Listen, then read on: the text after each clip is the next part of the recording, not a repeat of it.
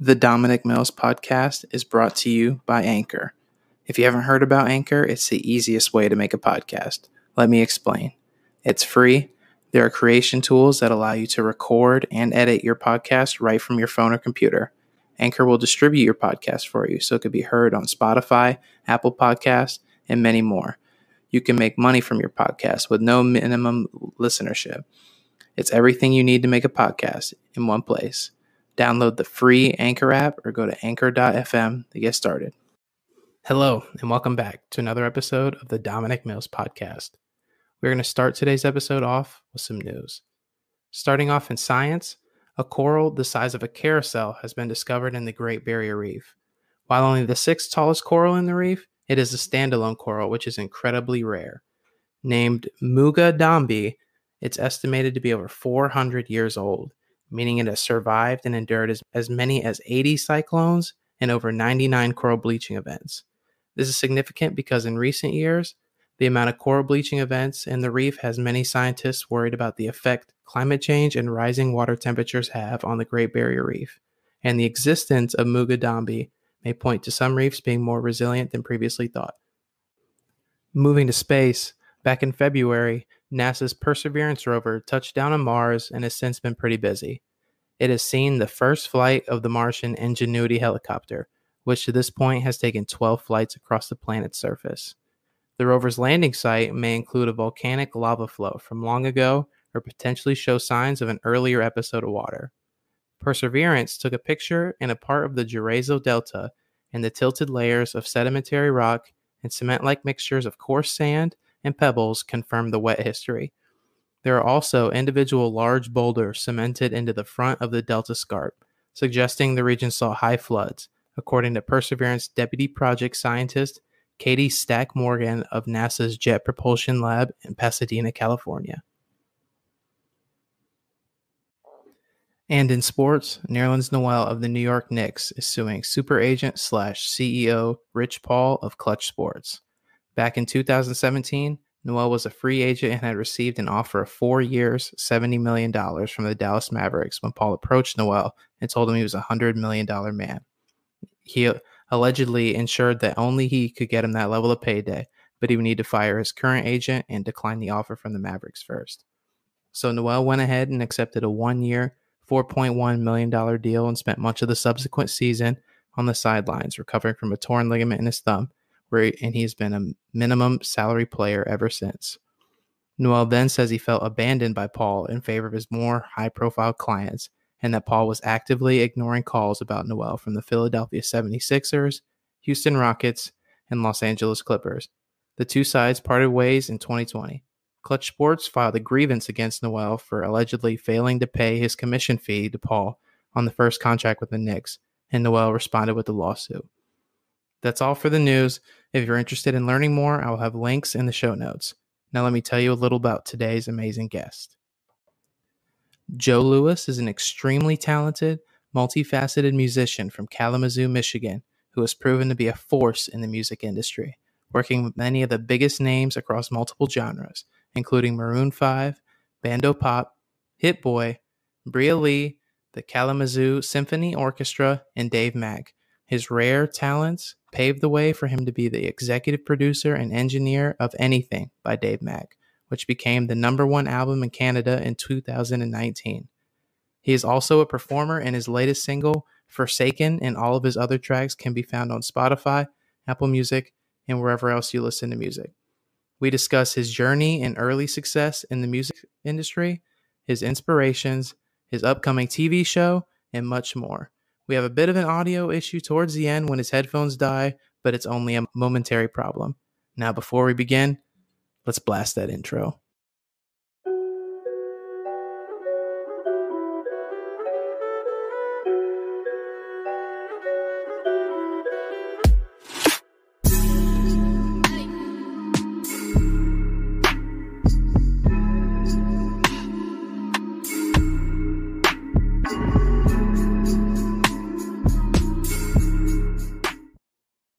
I'm here with uh, Joe Louis. Joe, thank you so much for joining me.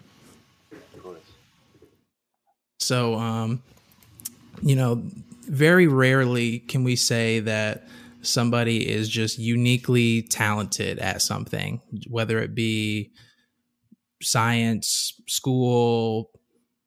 For you, it's music. I mean, the background that you have is astonishing. Um, would you say that you were born to have a career in music? Actually, yes. Um, but I didn't always know it. You know, for me, music was. I, I grew up in the church playing the drums, and since the age of two, you know, music has just been something that has always been inside of me. You talk to my mom or dad, they'll tell you that I was running around the house banging pots and pans, and but you know, just through life, I never really took it serious. So I was in band classes, but that's you know, really as far as uh, me taking music seriously would go. And because I'm from a small town, we don't have the resources or the know-how that you can have a career in music. So it took me, you know, until I was 20 to say, okay, I'm gonna try music out. But by then, I probably tried out four or five different career paths in different ways. So it took a while to get there, in my opinion. But I do believe that you know I was born with music just you know inside of me, and I'm supposed to be doing it. Yeah, I mean, you were able to do some of the live audio engineering stuff at 10 years old for your church. I, I don't think like that that just is insane to me. Like I couldn't even I, I was still probably picking boogers out of my nose when I was 10. like there's there's no way I could have done anything like that. Um I also came, Oh no no go ahead. That came from so I grew up in the church playing the drums and then my father started his own church, but it was a very small church and we didn't have any musicians. And the only thing that I could do around music was to learn how to work the audio system. So I kind of started doing that out of not being able to play the drums because we didn't have a, a band for the church. And, you know, it kind of became a normal thing. I had no idea. So I went to college. And I was like, yeah, I know most of this stuff, but I didn't know how. And I, I typed out a small bio for a class. And I was like, well, I've been doing this for since I was 10, kind of a long time. But it started to kind of make sense why um, I enjoyed it so much because audio engineering is kind of the science nerdy part of music, and I thought I wanted to do all the fun stuff, you know, just making mm-hmm. beats or making music, things like that. But that um took me by surprise too when I kind of put everything together about you know just being a kid, wanted to do something and be as close to music in the church as I could. Yeah, um, and I feel like you being able to I don't know, just playing around with stuff is, I don't know. Did, did, I've read that also that you were able to learn a lot of different instruments like just by ear. Like, do you think that a lot of that like can contributed to that? Oh, definitely. Um, when I was a kid, I think I had I had three piano teachers.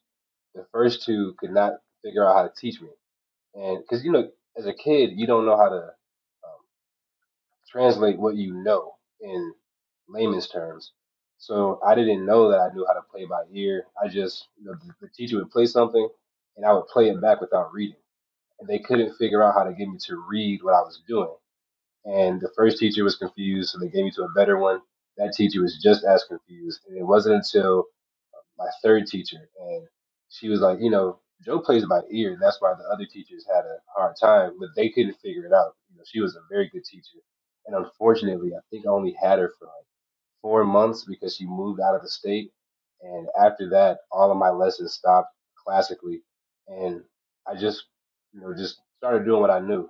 And it's kind of like, um, I don't mean to sound cliche, but it's a lot like off the, uh, the movie Drumline, where if I hear it, I can mimic it. But I never knew what I was doing. So I didn't learn how to read music until my seventh grade year in middle school and even then it was very hard but it took a, a really good teacher because i tried to trick all of my teachers. And because you know for me it was kind of lazy but if i know it why do i need to read it? And i wasn't understanding the importance of reading music. So and learning how to read took way too much time. I was still playing sports and i'm a kid you know, it didn't really didn't really seem fun So if I could trick my teacher, I would trick him. It took my seventh grade teacher to realize that um, I couldn't read because I would, you know, say I, I, might mess up when I was playing the drums, and they say, "No, Joe, that's wrong." I say, "Oh, how does it go?" And they they go tap da da da da da. So I just played it back however they did it. Mm. I would go from there. But it, it took. Uh, his name was Mr. Stout. He was a cool dude. But once he, I did that to him, and he looked at me, and he said, "Joe, play this, whatever." And I couldn't play it. He said, "You can't read music." I said, "No." And he started to pull me out of my other classes. Like he would take me out of math class and teach me how to read music. Um, but playing by ear was something that I used to be ashamed of, but I learned how to embrace it. You know, kind of like a person who can speak but can't read. Mm-hmm. That, that speaks you know, pretty well and can hang with the most intelligent conversations. Just couldn't write it down. I, had to learn how to embrace that creatively. I used to be very jealous of people who could read music or who could understand um, classical theory.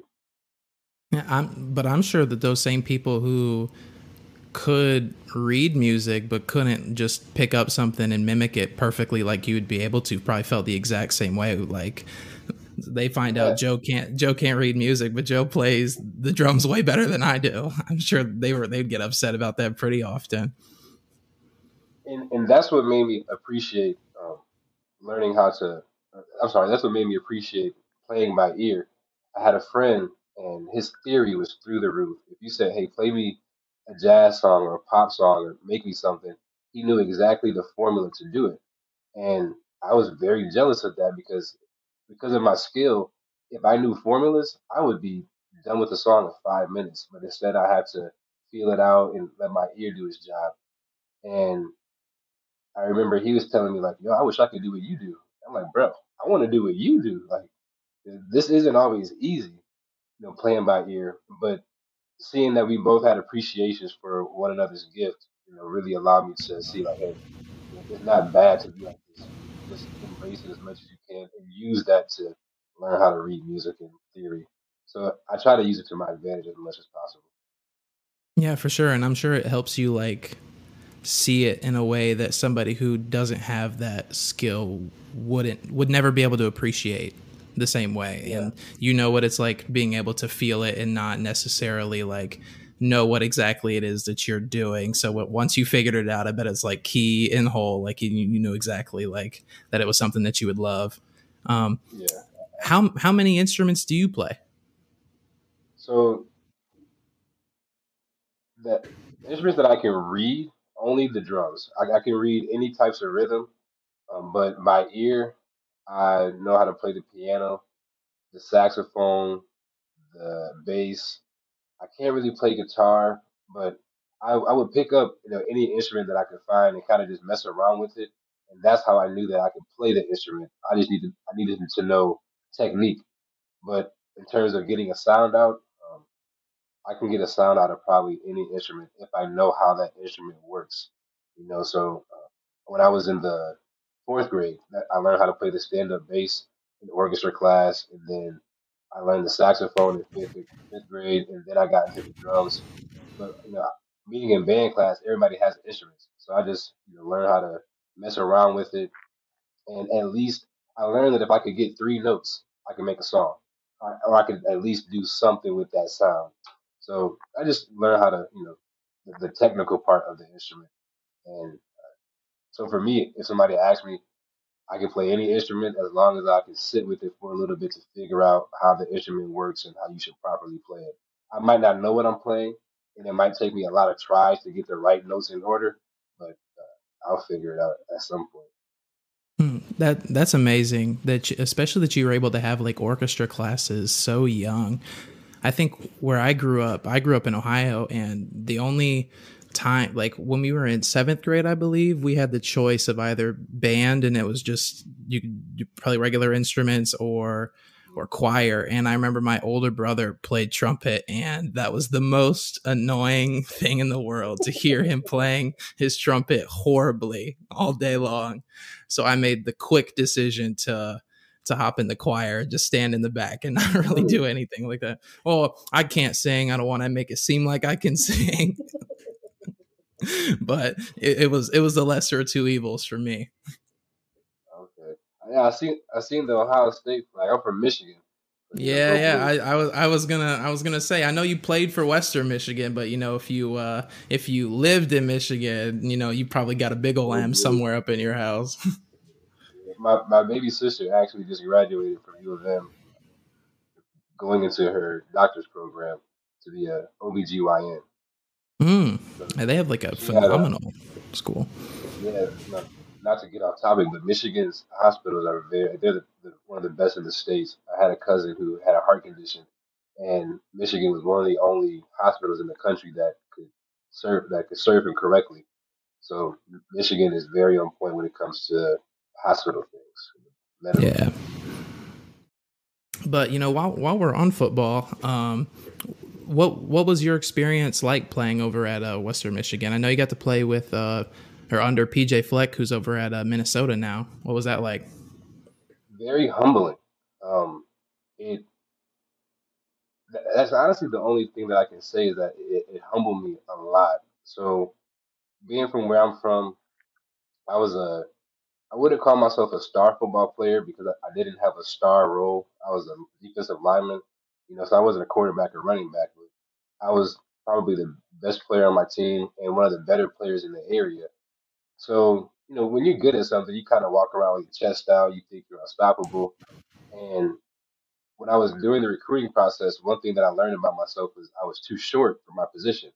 So I had the width, the size, and the uh, the size from a weight standpoint, I was too short. And a lot of coaches would tell me, "Hey, Joe, you're a good player, but you're too short for us to even look at your film. We won't consider you." And when I finally got to Western, it was honestly like a dream come true to be able to play in my hometown. Because as a kid, all you want to do is play at Western. We would go to the Western football games with our Rocket teams, and you always wanted to play at Waldo Stadium, being from Kalamazoo. When I got there, I seen these huge players. And Western isn't; it's a mid-sized Division One school, so the athletes there aren't top tier. They're, they're good, but these players are way bigger than me. So I, I was put in situations where I was normally never leaving the football field in a game, playing offense and defense. To I had to work very hard just to make the practice squad, and that was very mentally challenging to uh, learn how to deal with. To work this hard and go through all these changes to fit the program just to not practice. You know, I, I at least wanted to practice, but you know, I, it was very humbling to not be the person uh, who was important to the team from a game standpoint. And it taught me that you know practice players are needed. So it, it taught me to play my play my role and um, play my role well, and also get better. But from aside from it really humbling my ego, it was great to play under Coach Fleck. I, I honestly think that Coach Fleck would be one of the greatest, if not the greatest, college football coach by the time he's done to see what he's able to do with young men and the things that he's teaching. I mean, I, I still use the things that I, I, I, was taught by him every single day um, in terms of his program. The way he was able to do with Western in a matter of four years is crazy. And the Western, we never would have thought that Western Michigan would play in a Cotton Bowl, especially three years prior to their one and eleven. You know, Coach Fleck is very high energy. Um, he's very honest you know, and he actually taught me the the difference between business and personal, even though sometimes they, they seem to clash depending on what industry you're in. And I remember my, my last year playing football, I only played for two years before I learned that I wanted to do music. And because of before I started making music, I had insomnia just because I didn't know I was a creative kid. So when you're on a school schedule, you're, on a school schedule. I could never fall asleep. When I got to college, the workouts were so intense that I would fall asleep. And then I got used to it, and I, my insomnia would kick back in. And the insomnia, on top of the excitement of learning music, made it so that I could not fall asleep in time to wake up at six in the morning for a workout. I'm sorry, five in the morning. So I would, would be late multiple times. My grades were slipping because I wanted to make music, um, and I wasn't taking any musical classes. So I wasn't performing well in class, wasn't performing well in practice, falling asleep in the practice meetings. um, just not focused the way I should be if I'm a part of a football team, and not focused the way that I normally would be for football. And I remember we ha- I had an exit meeting with him. This was the meeting that you had with your coach right before we had winter break, and I could tell by his face he just wanted to chew me out. He wanted like, he couldn't wait till I got in the meeting for him to say like Joe, you are wr- wrong in everything. Like you need to get everything together if you want to be on this team. And he looked at me. He said, Joe, is anything that you want to say before I say what I have to say? I said, Coach, I won't be here next year. I'm, I'm going to go pursue music. I, I got accepted into Western music program, but I believe that music is what I should be doing and not football. He crossed out everything on his paper. He had this huge smile on his face. He said, Joe, you let me know when you make it. I want people to know that I know you and that I coached you. I wish you the best. I mean, he, he had nothing but kind words to say. And to me, that was a the first time I was able to see a fine line between business and personal because college football is a business. And I wasn't operating in the business correctly. I was bad for business um, because it was just, I, I wasn't right. I'm just to be honest. I wasn't doing the right things to be a part of that program. But when he seen that I was going to do something that was personally right for me, he, he congratulated me, was happy for me, and he let the business go. And that wasn't something that I had ever seen before. I'm used to everything either being personal or business. But uh, I appreciate Coach Fleck dearly. I think he's a great guy, um, and his, even his practice philosophy is just energy. You know, one thing that I always tell people because I, I consult people from time to time, and they always want to know how to get things going. Where should they start? And the first thing I say is you have to start somewhere, and you have to build momentum. And sometimes you have to build the momentum yourself. It, it, it doesn't happen. And once you get some momentum, things will start to come because of law of attraction and this energy. And we would have this drill in football practice where we'd be practicing, and it's called the momentum drill. He blows the whistle, we run over to the wall, we start making all this noise. We just five to I'm sorry, not five seconds for 45 seconds to a minute. We're just ah ah clapping and we're making a lot of noise. And then he blows the whistle again. We have to run on the field and go back to practice. And all of a sudden, our energy is picked up. At first, we were forcing ourselves to create this momentum and build up, and then eventually it carried over because we had built created our own momentum, and that would translate over into the games as well. So it was you know small things like that that I learned from Coach Fleck that uh, I still carry every day. And he's a great teacher. You know, the the first thing that he, he gave us when you come onto the team is called a man manual. It's about a it's a binder about that thick, and it just has a bunch of inspirational quotes. These quotes are for money. These quotes are for when you're feeling like this. These quotes are if you're in this situation. And you don't see too many coaches who care about their players enough to make them a better person. You know, a lot of coaches just care about the game itself. So uh, I believe Coach Fleck would, would be a force to be reckoned with in the college football scene. On top of he's young. You know, when I played for him, he was the youngest college football coach, and people did not like him because uh, you know how he came across. You know, even from being in Kalamazoo, I would go to the store and I would have on a Western football shirt once I had been recruited by them, and people would go, "Oh, you're gonna play for Western? I can't stand that Coach Fleck. What is what is roll the boat? What does this mean?" And you know, he had to deal with a lot of hatred th- those first couple of years, and then two, you know, four years later, everybody's saying roll the boat, and they're walking around. I'm sorry, That's they're walking around, you know, doing the roll the boat motion. But uh, I think he's going to be good. He he also showed me culture, and that culture and community is very important um, in anything that you're doing, and that I use that a lot in terms of when I wanted to get into the music industry. I had to learn how to build my own community of music my own community and, and network and begin to grow my own culture per se. I'm not a, I don't have a full team behind me, so my team doesn't have a culture, but I have to have a culture to myself to begin to implement so everybody else can fall in line when I do begin to work with more people or have a team behind me. But uh, I can talk about Coach Fleck all day, man. I'm, Yeah, I'm yeah, no. I, I, I'm entranced. I, I love hearing stuff like that about coaches that, uh, that teach you lessons and stuff like that. Like especially because coming from an area like that where you would be like the guy, like the sport, like you know when you're when you're the guy. Even I know you were saying Western's a, a mid, I think mid major is the word I'm looking for here. It's still Division One, and Division One is Division One. Those guys are those guys are dudes. Um, Yeah, and just having to claw and fight and scrap for everything you get, even that practice experience is just, I, th- for you specifically, I think it really, you know, because a lot of people after they graduate with their with their degree, music wise, they'll go and they'll join like a corporation of some sort, but you had like this this idea of stuff that you wanted to go for and you just you put all your effort into that and i think it's been one of the biggest reasons you've been as successful as you as you've been yeah, I, appreciate that. It was um, it was kind of interesting. I learned that a lot of people who graduated, so I graduated from Full Sail, and Mhm. I learned that a lot of people that would graduate with my degree, you know, I, they were, they kind of felt entitled. You know, oh, I graduated from Full Sail. I, I don't need to be an intern. Or they thought that the, the piece of paper validated their skill or them to walk into the music industry. When in reality, you know, this the music industry isn't full of people that have degrees. You don't need a degree to make music.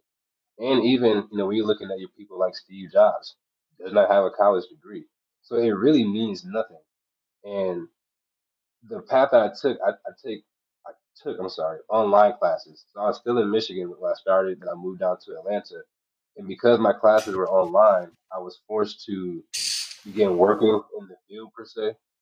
And I think that's what really um, made me a lot more successful than my peers at the time because it, because I had to work right away. So I, I couldn't be on campus, and the students on campus they they can't work the way I could because they're on campus. They have projects. They have to go meet with people, and their schedule is a lot more tighter. I was in situations where I, I might have only logged into my computer for school once a week, watched a video, did my assignment, and that was it. And I, I talked to students on campus, and I think the most interesting thing that Full Sail does with their audio students is that they would make them uh, have a studio session at four in the morning because that's you know how the industry is. It's not a nine to five. You do have to clock in sometimes at one o'clock in the morning and stay there until twelve. Um, but I didn't have those experiences because I was online. But the beauty in that is that I had to begin to make my own connections and work the industry and get the hands-on experience. But it allowed me to learn classic, not classically. I, can't think of the word. I, I was able to learn in school and then take it right away over into the music industry the same day. So if I seen a trick that my teacher taught me, I did that in my job. You know, if, if somebody brought me a, a song to mix, but I just learned this new cool EQ technique, I did that same EQ technique that I technique that I just learned you know, maybe five minutes ago, or whenever I watched the video. So for me, that was very, very helpful. And I always recommend the online students that I talk to, like, go work right now. Don't wait until you get your degree to, you know, tell people that you're qualified to be an audio engineer to produce for them. Because I was able to make more money telling people I'm a Full Sail student than I was a Full Sail graduate. No one cared that I graduated because I was in school. They took me more serious when, when I was telling them or suggesting them things to do. Um, but I, I think that was probably the the biggest thing to my success was I was in school and working at the same time. Yeah, that's some real ambition right there. Some real ambition right there. Um, also, I feel like, you know, if you're taking the skills that you're learning and then immediately applying them that next day, that kind of plays back into you that early childhood you're playing your inst- you're playing instruments just by ear like you know so many people when they have something that they they want to do or they they really love they're like you know they don't know how to start. Like they know like oh if i could just if i could just get past this point like whatever. But I, the the key to so many of those things is you just gotta you just gotta go like and you're you're in school and you're doing it. So that's that's gotta have been huge for you. Yeah, it was a honestly it came from a, a weird sense of urgency. You know, I felt like I was very, very far behind um, because I, I recognized that I had a higher skill level, but I wasn't in a higher skill level place. You know, I wasn't in I wasn't in those rooms yet, and I, I wanted to be there so bad. On top of, uh, I quit my job one time, so I had to. I kind of forced myself to like, hey, you gotta do it. You have to make this hmm work. So I had a very, I still have a very weird sense of urgency. I was just talking to my publicist about some things, and she goes, Joey, you have to calm down. This takes three months, even with my biggest of, uh, of artists and clients, it takes them time to do this. You have got to relax because I'm I'm trying to move fast, you know, because Yeah, that sense of of times, urgency. yeah, it, it- it's very weird. And I had to apologize, like, you know, hey, I'm not, you know, I'm not trying to disrespect or come across, but I'm very impatient. I, I try to be more patient, but um, I like things to happen fast. So, and that's bad sometimes. That that has definitely played against me many a time moving too fast. But uh, I think in the beginning, I had a very, very weird sense of urgency that, if I'm being honest, I'm glad that I don't have it now because I was in situations where I was spread too thin. I was doing too much, and it made me very unproductive. And it looked like I was productive because I'm doing so many things, but those things were never going to reach their, their full potential because I wasn't spending the proper time on them. I was doing everything possible. So I had to learn, you know, I'm still learning patience, but I also had to learn to not say yes to everything and not be so urgent to make something happen. And that's really where my sense of urgency came from is that I had nothing and I just wanted something to happen. So I would take any project. Whenever somebody said, Hey Joe, can you do this? Yes, because if it goes right, I have something that's happening.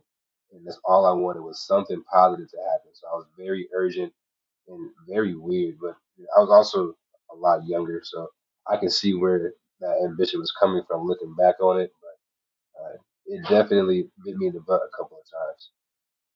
Well, I think it's better to have it be that way than the other way around. You know, trying it's always it's always better to to tell someone to dial it dial it back a little bit or something like than it is to tell someone to to turn up. Like uh, I, the the biggest example I can think of is a uh, is a basketball example. Like you know, people love to hate on Russell Westbrook. In fact, in my last podcast, I said some negative things about Russell Westbrook, but the way the way that he goes out there and just goes goes for it all, like he give gives everything every single every single game. There's not a single teammate that he's had that has been like, I don't want somebody like that in my corner. And then there's the people that are like, I don't know, Andrew Wiggins previous to his Golden State experience because he he was he was better last year, but it was like he he was one of those guys who had all the talent in the world. Everybody thought he was going to be the, the next great thing, and he just never got any better. And he didn't didn't have that that drive to go and go and do do great things. So I don't know. I I know you said it's nipped you in the butt, a, cou- or you know, it's messed you up a couple times, but it's that's that's a that's a really great thing to have.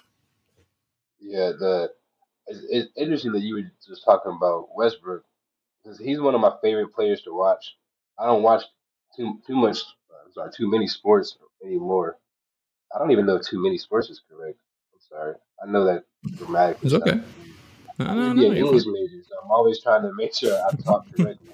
But I don't watch sports too much anymore. But I love watching Russell Westbrook, and I was on Instagram and I seen it. I love Kobe. Kobe was hands down my favorite athlete.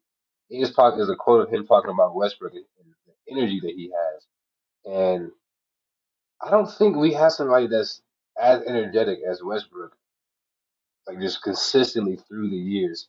And I, I love that a lot about Westbrook. I love people who are like a blast in a glass. Like you can't contain them. You know, hmm they're just very high energy. They're gonna get it done. If they roll over you to do it, they roll over you to do it. It's best for you to get out the way. But I think that people with high energy like that, they eventually get to where they're supposed to be going. So I really hope the best for Westbrook. I think that he's one of the players that is well deserving of a ring eventually, just because he's such a good player, you know. But hmm he, he's definitely very, very high. And, uh, you know, hopefully he can make something shake this next year. Yeah, he's one of those players that I don't think that we're gonna really appreciate everything that he's done until he's either a won a championship or b retired. And Yeah. it's really sad that people you know say say all the things that they say about him because he's not perfect but no no nobody nobody's perfect. We we keep trying to hold these people to these impossible standards that they're never going to be able to live up to. It's it's just a little ridiculous.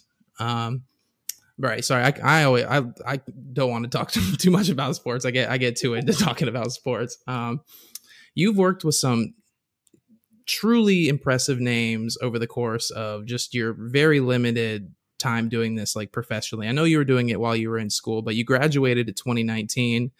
It's 2021 and you've worked with some amazing names like Maroon 5, Hit Boy. You uh, were the executive producer of the number 1 album in Canada.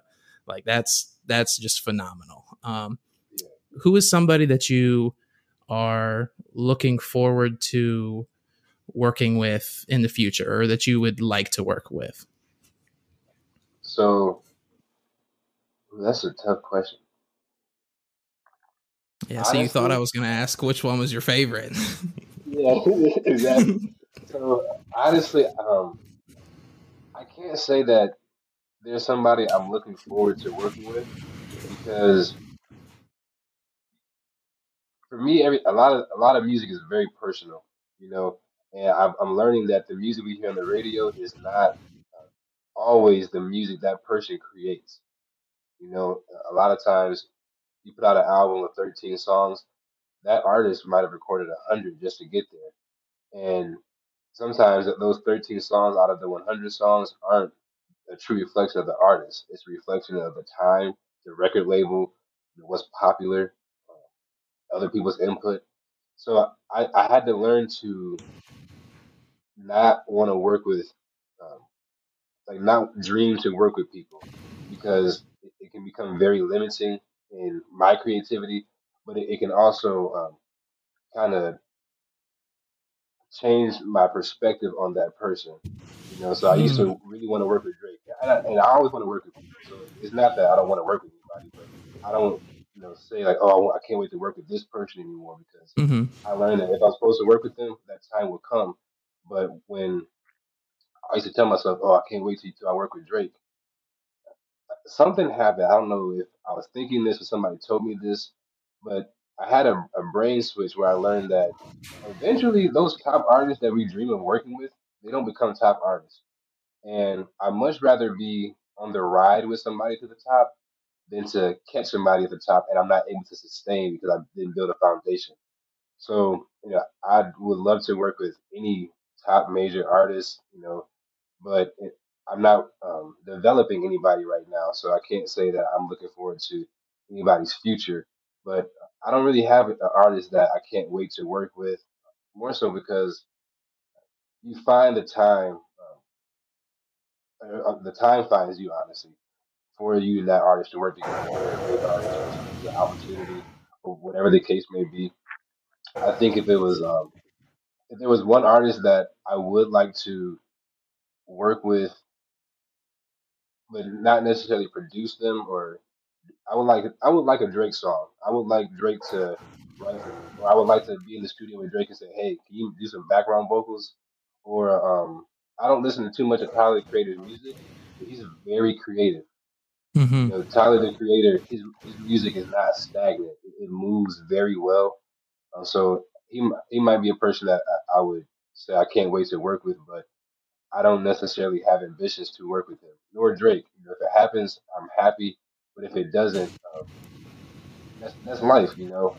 But I do want to get to the point where I'm accessible to everybody, when I have access to everybody and can work with them, um, because I believe that ideas are should be the true foundation of creativity, not ambition and goals. So I, I want I want to have an idea where I say, hey, you know, I think Drake sounds good on this, and he should sing a song with Taylor Swift because I have the idea that I can make it happen. Versus, I really want to work with Drake. I really want to work with Taylor, and then I'm trying to just do all the wrong things to make any song happen versus the right song. But I used to want to work with a lot of people, um, a, a, lot of people, but I didn't know how to get to them, and mm-hmm. that was another part of it is that I had no idea how to get to them. You know, I love Beyonce. I had no idea how to get to Beyonce. I still don't know how to get to Beyonce. You know, she's if like, you find out, let me know. I mean, so I've gotten the, the closest I've gotten to Beyonce was a producer and her cousin, and to me that was a kind of like an eye opener in terms of how close you can be to people, yet they're still very very far away. You know, um, I, I had the opportunity to work with John John Tracks. We were developing the same artist a couple years ago, and the artist kept saying, "Yeah, you know, I'm gonna take you over to Beyonce producer's house." I'm like, "Why are you working with one of Beyonce's producers? Like, how did how did you get there?" Because you know he- he's a rapper. His name is Bando Pop, but I was very confused as to how he knew one of Beyonce's producers.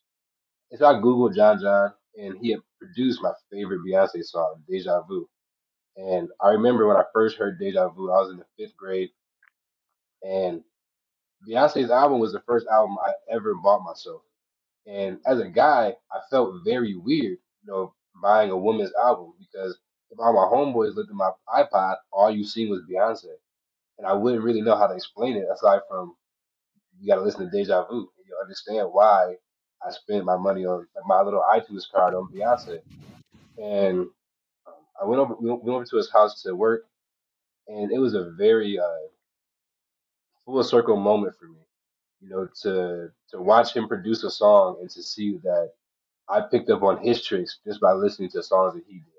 So to see that me and him had similarities in our producing, but had never met, had never talked, to me that was pretty full circle, and uh, I loved it. You know, just being able to work with somebody who, you know, I play his song on repeat for years. You know, if somebody asked me my favorite Beyonce song, Deja Vu. If you ask me my top five favorite songs, Deja Vu. So that was pretty cool. And then uh, I had a manager at the time. He was good friends with one of her first cousins, and I walked into his apartment, and this her cousin is there. I'm looking at her, like, "You look familiar. Like, do I know you?" She's like, "No, you don't know me." I said, "Like, what do you do?" Like, you know, because she she just had this face that I had seen before, and she goes, "Oh, you know, I have a fa- famous cousin. Our family's out in Houston. I got a rich uncle." but she didn't say any names. You know, I'm living in Atlanta. A lot of people lie in Atlanta. So when somebody says, "Oh, I have a famous cousin," or you know, I think it's just blowing smoke, and I don't want to ask who because if I ask who, you tell me, and I don't know, either I feel stupid or you look stupid. And you know, I didn't want that. I've had that so many times. Where, oh, who's your cousin? Or who is this? And I don't know. 'em. So I feel stupid for not knowing somebody that everybody else in the room knows, or this person's lying. So I just, you know, okay, that's cool. Famous cousin, rich uncle. And her cousin had watched me work with a writer for about two days. And she goes, You should really work with my cousin. I'm like, Okay, cool. Like, you know, it's, it's great. Whoever your cousin is, I'd love to work with him. I liked her. So I figured, you know, if I like you, I must like your cousin too. Y'all must be similar. hmm She goes, and she could tell that I didn't know who her cousin was. And she goes, You don't know who I am, do you? I said, No, I asked you what you did, and you said you, you did nails and that you weren't anybody famous, but your cousin was. I don't know who your cousin is. So then she Googled herself, and it popped up Beyonce's first cousin. I said, Wow, you're Beyonce's cousin? She goes, Yeah, you need to work with her. I said, Can you make that happen? She said, No. Like, How am I supposed to get there? but, Oh you know, goodness. that was like, you know, the people can be right there and it's still very hmm far away. But you also never know how close you are, uh, too. You know, because hmm it could have been a simple conversation where maybe she could make it happen. You know, say Beyonce doesn't operate how Beyonce operates. Hey, cuz you should work with this guy, and maybe it happens. You know, but that those are my closest Beyonce stories that I have so far in my career. Yeah, well, if you ever get, you know, in the same vicinity as Beyonce, make sure you let me know because I'll, I'll man, find a way. I'll letting the find a way to slide. I'm letting the entire world know. Actually, I, I take everything I said back about not wanting to work with the artist. Beyonce. Um, I think that she is honestly she's she might be my second biggest influencer aside from Michael Jackson in terms of my music. Um, and I'm kind of mad I didn't say that earlier. I would want to work okay. with Beyonce. She's When uh, she listens to this, I'm sure she'll forgive you. I really hope so, but it would definitely be Beyonce. I think that Beyonce is now people get mad at me when I say this, but I'm a and I'm a huge Michael Jackson fan. But Beyonce is a lot better than Michael Jackson, and Michael Jackson is the best. But I don't think that we're gonna give Beyonce her flowers for. Um, if I'm being honest, I don't think that people like a woman being that great and being that powerful and being that able and that clean. You know, Beyonce's career has no blemishes. When you ask somebody about her, they tell you how hard working she is. Um, when I watched the Homecoming documentary, that was the first time, and this is crazy, but the the first time that I thought Beyonce was a woman, like a regular person, was that Homecoming documentary. She's recovering from having twins, and you can see that she's going through something very normal. And I was like, wow, Beyonce is she's a person. That's crazy because you know we always see the the persona in the artist, and for me, it was uh it, it was cool to to see her in that way, but to also see her dominate and get back to where she wanted to be at. You know, I don't think a lot of people could do what she's done, and her music is through the roof. She she can uh, sing any type of song. Her voice is greatly trained. Um, one of her engineers said that they spend maybe an hour recording a song because they're never doing retakes; they're just doing more takes. But then they might spend six hours choosing which take is better and, and making a better comp. He said there's no auto tune on her voice. He doesn't have to pitch correct anything because her voice is just that trained. She can sing and dance at the same time. Um, the older she gets, the more creative she gets, which I think is very, very beautiful. A lot of times, the older an artist gets, the, the more they lack creatively, and the more the hmm music is bad. But uh, it would definitely be Beyonce. She's a uh, Beyonce. That's the one artist that if I had to choose, like I would work with, it would be Beyonce. And then Michael Jackson was still alive. Michael Jackson and, and Prince. Um, Michael Jackson's music was very uh, universal, and that's something that I strive to do in my career is to have music or create a bunch of music to where anybody can listen to me.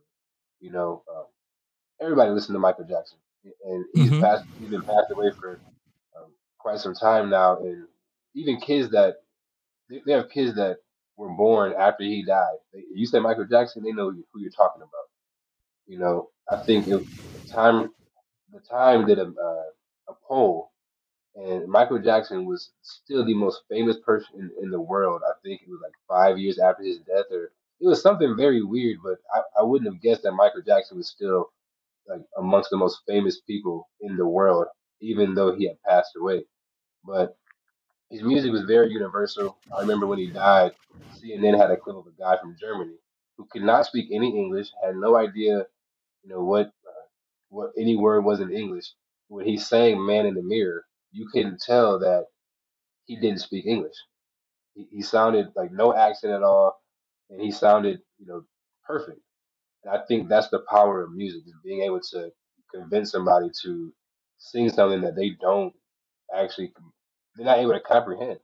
So when I hmm seen that, you know, I was, and I wasn't making music at that time, when I seen that, I wanted that. You know, I wanted to be able to do something that everybody across the world could join in, and that it wasn't about black or white or man or woman or what kind of food you like or any preference like that. Like if you like music, you like this, and, and you're able to listen to it and can appreciate it for what it is. You know, um, and Prince was a great creator, very experimental. Um, and one thing that, as I, eh, I have to be honest, I never liked listening to Prince's music, but I love watching him perform. Like, I love his live music. But one thing I, I respect, respected a lot about Chris, Chris, I'm sorry, Prince, was that a lot of artists would say, "Oh, Prince wanted to work with me, but he only would work with me if I own my masters." And at first, I was like, you know, why is that a big deal? Until I got more and more into the industry and seeing the power of owning your own music. So Prince was very much a trailblazer in the independent artists. You know, there's an interview where Nas said that Prince was at a party, said, "Hey, I want to work with you. Do you own your masters?" And he said, "No." Well, call me when you own your masters. Nas never got out his deal, so he couldn't work with Prince. And uh, I think there's a lot of different small learning lessons in that. But for, for, for the business reason and for how creative and experimental Prince was, it would definitely be Beyonce, Michael Jackson, Prince for who I wish I could work with. Yeah, um, I I haven't I've never really gotten the opportunity to like get into Prince, uh, which just sounds so so bad as the words come out of my mouth. But an acquired taste, you know, because uh, I, I love music, but I can't sit and listen to a Prince album. There's something I don't know if it's because I wasn't born in the '80s or I, I was I didn't grow up then, but to me, there's something missing. But when he performs live, to me, that's that's some of the best music that you'll ever see mm-hmm. and hear. But um, the one thing I always respected about Prince is that I think he's, he's one of the first artists to play every instrument on his own album, and that's honestly a goal that I want to have for myself. You know, when I get to the point of making albums, is that I, I want to be able to sit and play every instrument because Prince did that, and I thought that that was something that a lot of people couldn't do. I think the last person to do it, uh, his name was Beck. He won a Grammy over. He actually won a Grammy over Beyonce and people couldn't figure out why he had one album of the year until it came out that he I think his was set 27 instruments. He played all the instruments, he wrote all the songs, recorded himself, and mixed like he did everything himself. But the reason why the Grammys gave him album of the year is because no other artist is one playing an instrument, yet alone 27 different ones. But yeah, that's that that's crazy. That's that's ridiculous, and I'm mm-hmm. sure that I'm sure that he wasn't doing it how I plan on doing it myself and just messing around and making it happen. I'm sure he could read music, you know. So that's a very, very high skill level to be able to play 27 different instruments, record yourself, make an album, and you know, I'm glad that somebody like him was recognized for it. And I wish that people um, pay more attention to why he won that album of the year because I, I never listened to the album. I honestly didn't know who Beck was until then.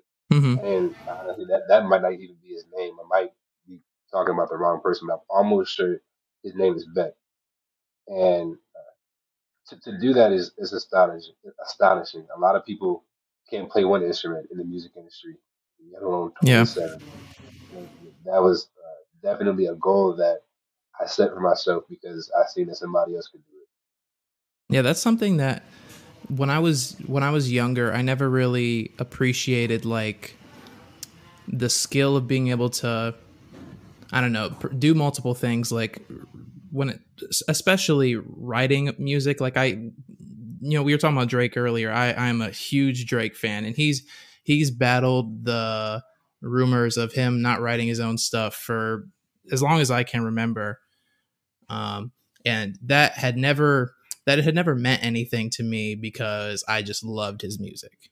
You know, I granted I, I think he I think he writes his own stuff. I'm not I'm not I'm not gonna say anything like that, but being able to perform especially your own instruments on an album when people dedicate their entire lives to being able to play an instrument just have any output creatively the ability to perform 27 different right. instruments on an album is just completely baffling. I yeah. I could I couldn't even I don't think I could name 15 instruments right now if I had if yeah, someone put a gun to my head and I was just thinking like what 27 instruments did he play like what was he doing but I'm I'm sure that he had a lot of fun doing it making a lot of different mm-hmm. noises I can imagine that's what it was was just fun.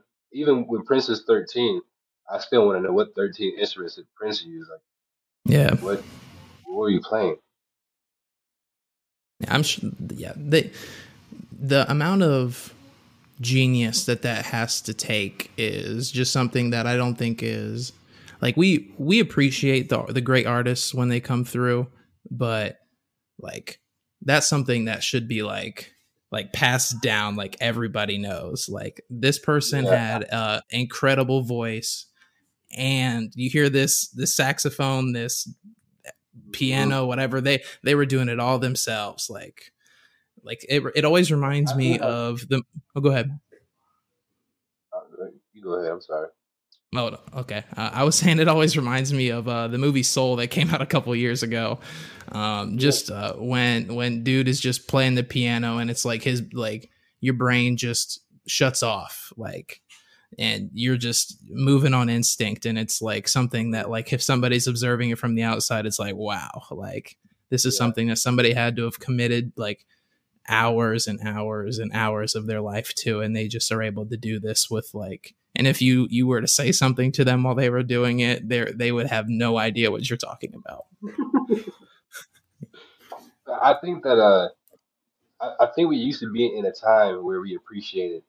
I don't I don't think we ever appreciated artists playing the instruments, but I think that we used to be in a time where we appreciated musicians who could play instruments. You know, you look at somebody like James Brown, where he he brought in Bootsy Collins, or you know, he started off Maceo, and then Maceo begins to play for Prince, and then you know, Maceo is uh, is a saxophone player. So anytime you hear like or any similar saxophone sound in hip hop, that's Maceo. That's a Maceo sample. And you know, at the time, people were really appreciative of those different musicians playing with these artists. You know, even when you um, talking about somebody like Dizzy Gillespie, I might have said his name wrong. Um, you know, but we we used to be in times where we cared about musicians. You know, people would go to a bar to see a trumpet player, um, hmm and I think that we'll get back to that eventually. I'm not really sure when.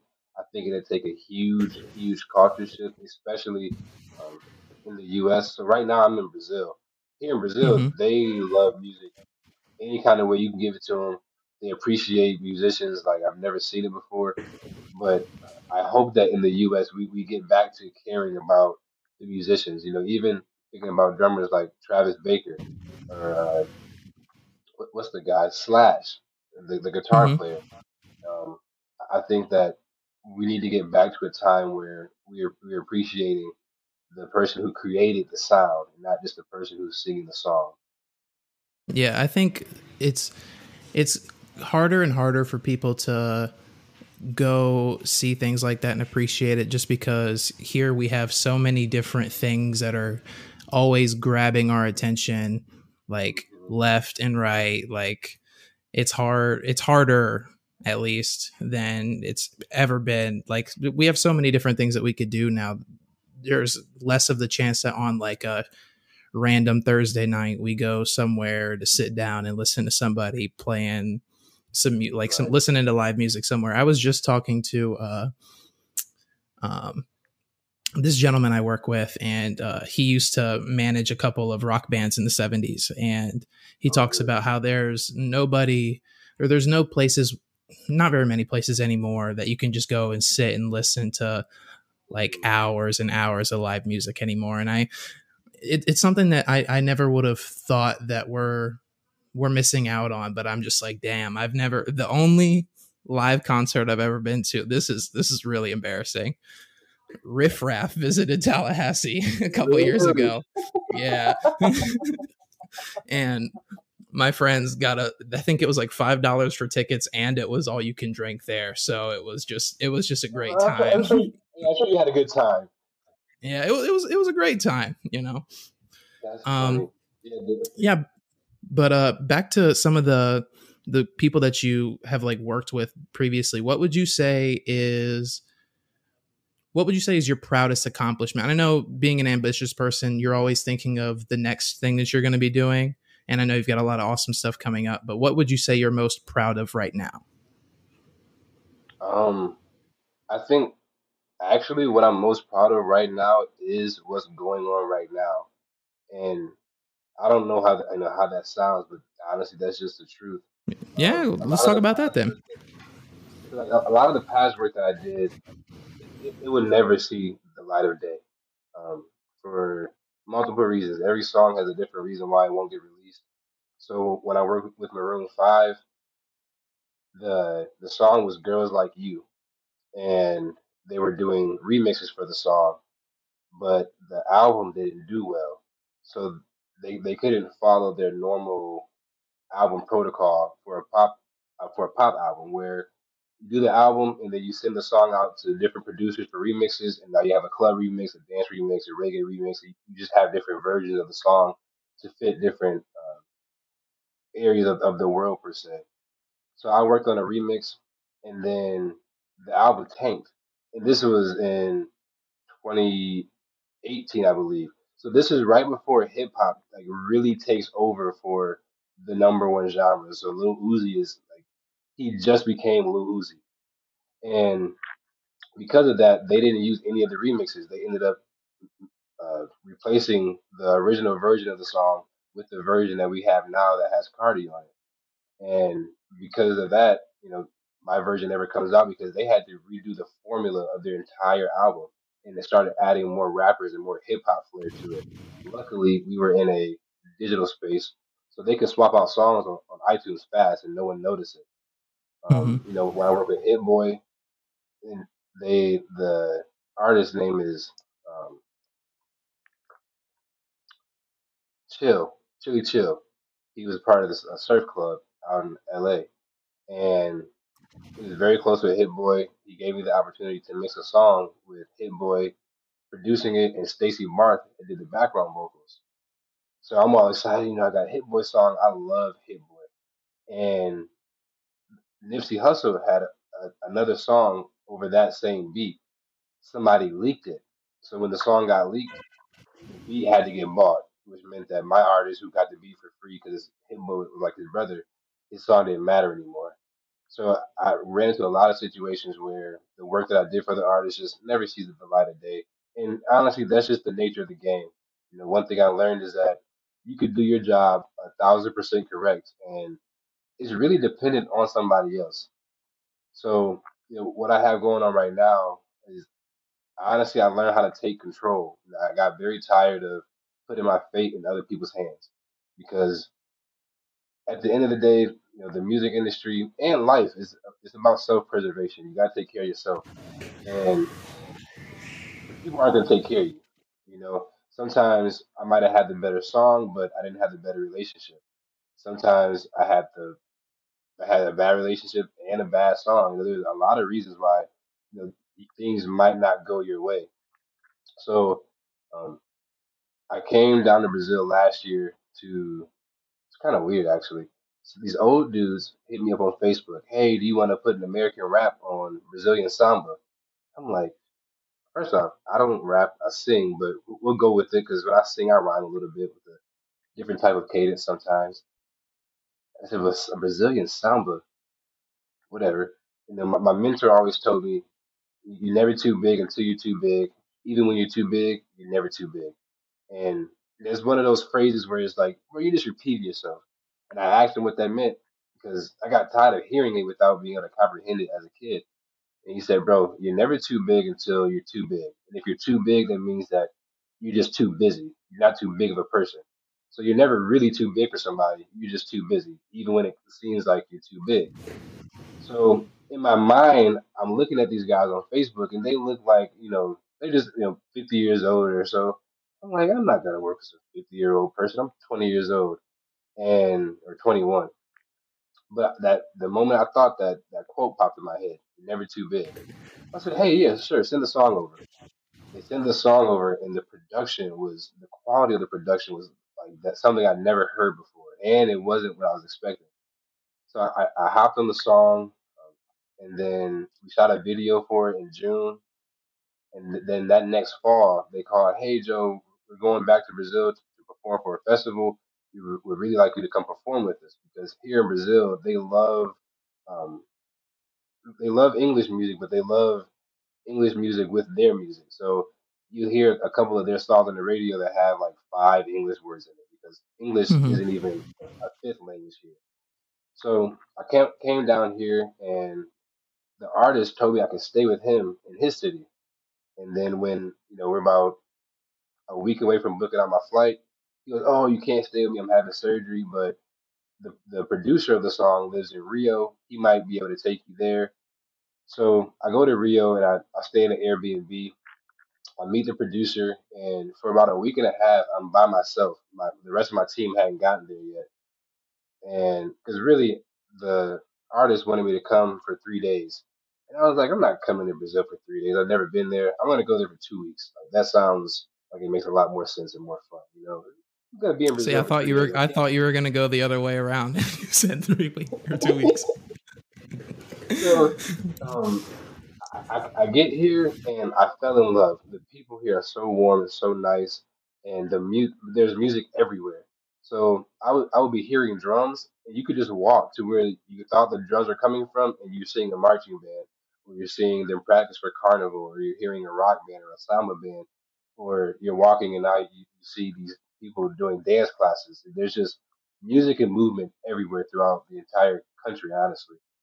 So I fell in love with it, and then um, my mentor, we wanted to use at the time. Uh, everybody had a TV show idea. You know, I had an agent that had 20 ideas. My mentor had an idea. Um, the guy that connected me with my agent had an idea. So I called my agent. I said, "Hey," because at the time the streaming platforms were taking the um, shows are being taken off off the streaming platform so that the owner could start their own. So like we, we, we were in situations where ABC was taking down ABC shows from Netflix so they could put them on ABC's platform. So all these platforms were looking for original content because it's not just about Netflix or Hulu anymore. So hmm he, my agent had five ideas. I said, hey, you know, if me and my mentor write together something, would you mind putting our deck amongst your pitches? He goes, yeah, just, just let me know. So we come up with this TV show idea where we travel across the world and we work with um, a big artist from that country. We show the culture of the country, the people, the attractions, and then we show the artist.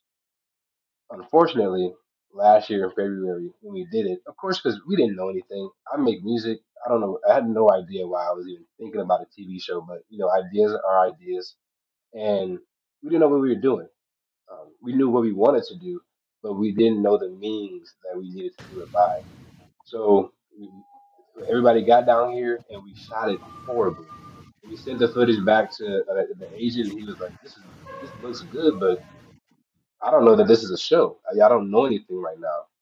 And you know, it, it kind of gave us a major setback because we were in a position where had we did it correctly, because these platforms were so desperate we would have went right to Disney without even having to do too much work because they just needed things. And because we messed up so bad and then the pandemic hit, it's not until I came down here in April to begin to plan and you know start my career as an artist here, but also prep for the TV show. But it's not until next February where we're gonna actually shoot the episode. And the reason why to go back go back to your question, why I'm most excited um, about this time more than anything else, where I think this is my greatest accomplishment, is because I actually control this. So through the TV show, I'm able to actually control my first major release. So we, That's cool. we work with the you know, we, we work with the artist and we produce three songs with them, and then our company puts the songs out. And this is the very first time that I know for a fact I'm working with a major artist, and the song is gonna be released without a question. And that's honestly uh, something that I'm very, very excited about because I've been doing this for six years, three years, no, full time. And I've been in a lot of situations where I think something's gonna happen, and it's just one thing that's off. And honestly, because my job is so simple in music, just making the music, it was almost never my fault that it didn't happen. It was always something on the business end. And it's not that it's even somebody's fault, it's just business. It does or it doesn't happen for whatever reason. And I was getting very tired of that it could be discouraging to be very close and still not have it, you know. So with this situation, I know for a fact that I'm working with a major artist. I actually just got done producing one of the songs a couple of days ago, which made me more excited. Like, I, I can hear the song now, and I know it's gonna come out. You know, I'm very excited, you know, just for hmm like, the music part. And I haven't even it hasn't really hit me that you know we're gonna shoot a show and, and hopefully we put it on Netflix or Discovery Channel or whoever decides to pick it up. But I'm excited that you know I I'm, I get a, my first major release, you know, and to actually work with somebody who's signed to a major record label without it being knocked away. You know, this is surefire. The contracts came back in. We have to do it. So I, hmm I, I'm very excited about this phase right here. Um, on top of you know, I believe that you have to be excited for the now. Um, I think everything in the past is a learning lesson. I know that I'll look back on this and you know. uh, I probably feel a lot more emotional about this because this will be my first major release. But one thing I learned is that, especially in music, you can't really look back. Even though your past will always get you to your future. I can't. I, I'd be lying if I said, you know, hey, I don't use my past to as leverage to help me do something. I tell people left and right, oh yeah, I work in Maroon Five. I did this with Hit Boy. Even though those songs never come out, just somebody hearing that, sometimes it makes them want to work with me. And sometimes those songs are four years old, you know.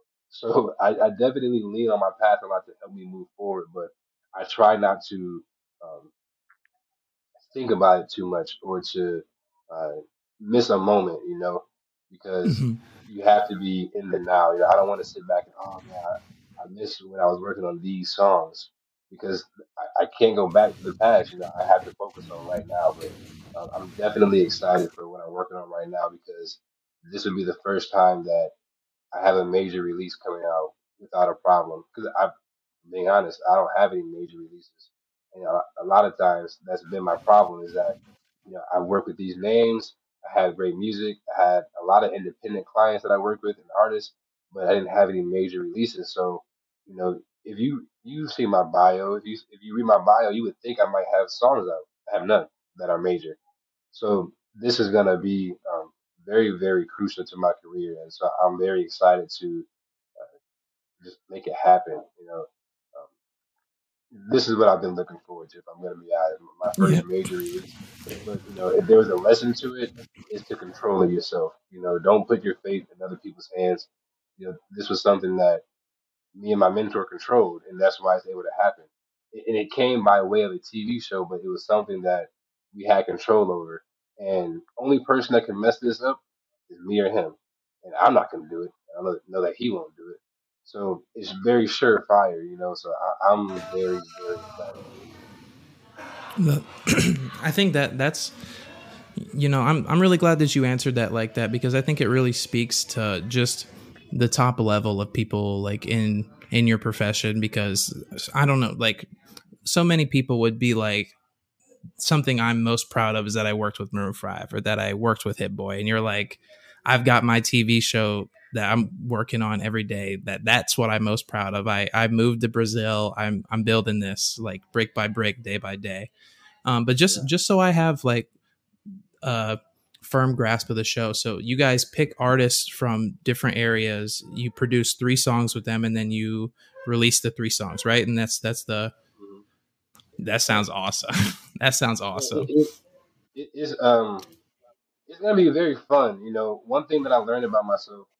Because before I came to Brazil, I had never left the country, so I had no no uh no viewpoint on how I thought about different cultures aside from you know, my friends of a different culture.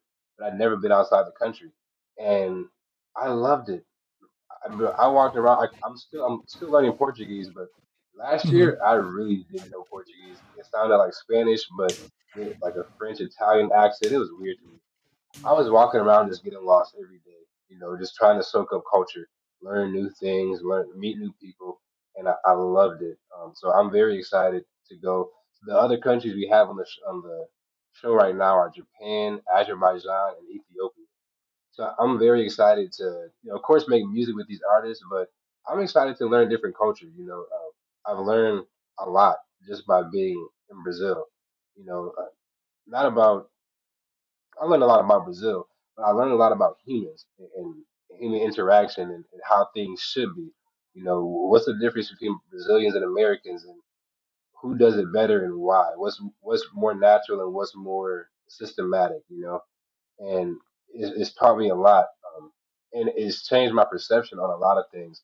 My favorite thing about Brazil's music industry that I wish, and I think America is getting to it. Um, hopefully. But my favorite thing about Brazil's music industry is that two of their top ten artists are in the LGBTQ plus community, and that's not something that we have in America. We we don't have that kind of representation. So you know, to see that their songs are on the radio, you know, uh, their personas are out there. One of them, uh, he identifies as a male. His name is Pabllo Vittar, and then another one um, identifies as a woman, Gloria Groove. I want to say that Gloria she's a transsexual. I remember reading that you know she had made a um a gender transition, and Pabllo is identified as a drag queen. And because of the uh, gay culture here in Brazil it's very open, and these artists make some of the best music I have ever heard in my life. And I have a, a gay artist I work with. His name is HB King. He's a social media influencer. He actually just won uh, a competition show called The Next Influencer on Awesomeness TV. And one of the things that we I always talk to him about um, when I first met him, I remember because he's a very influenced by Megan Thee Stallion, and Megan Thee Stallion is actually a reason why he was able to go viral a lot of times. And his first writing session, he was afraid. He, he didn't know what to write because he's he identified as a male, but when he writes, you know, he writes hot girl things. So he was like, you know, can I say this? And I'm like, well, why can't you? I'm not thinking about anything. You know, this is my first time even meeting him, so I don't know why you can't say what you want to say. I always tell people, do what you want to do. Like, who cares? He says, I'm a, I'm a guy, and this is for girls. I said, who, who cares? Like, I was very confused at it, and then he said, no, like this could come across the wrong way.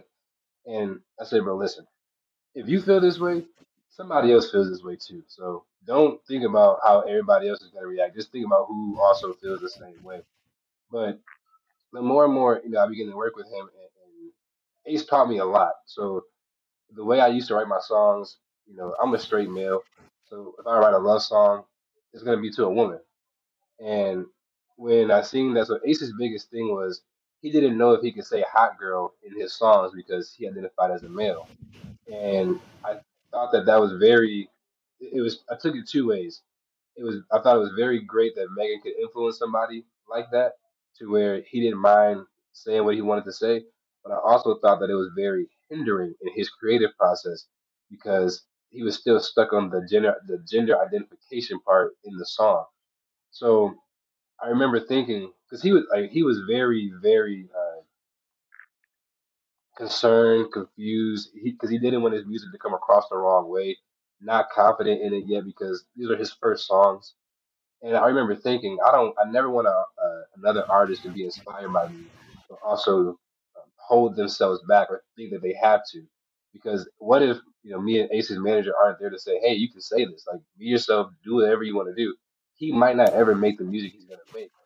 So I remember thinking, like, you know, how can I, you know, alleviate somebody who is um, different from me but wants to be like me? How, how can I alleviate this, especially from a sexuality part? because I would always say, "Oh, girl, this," or you know, I- am referencing a girl with whatever I sing. So I took it out. That way, anybody who does anything, they can agree with the song. You know, and I think the the best example I have is just because I'm singing to a girl doesn't mean that a guy singing can't sing this to a guy. I, you know, I make love songs. What if like, two gay people are having sex and they hear the word girl in there? They don't even like girls. That might turn them off and, and now their moment is ruined. I don't want to ruin anybody's moment because of how I am personally.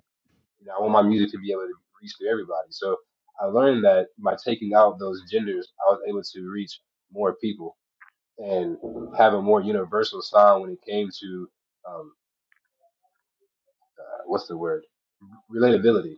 I don't even know if that's the word. Mm-hmm. Be more relatable. So um, Ace taught me that, and when I came down to Brazil, and seeing that they actually had artists that were very big without judgment. Like I've never seen a negative comment about either one of these artists.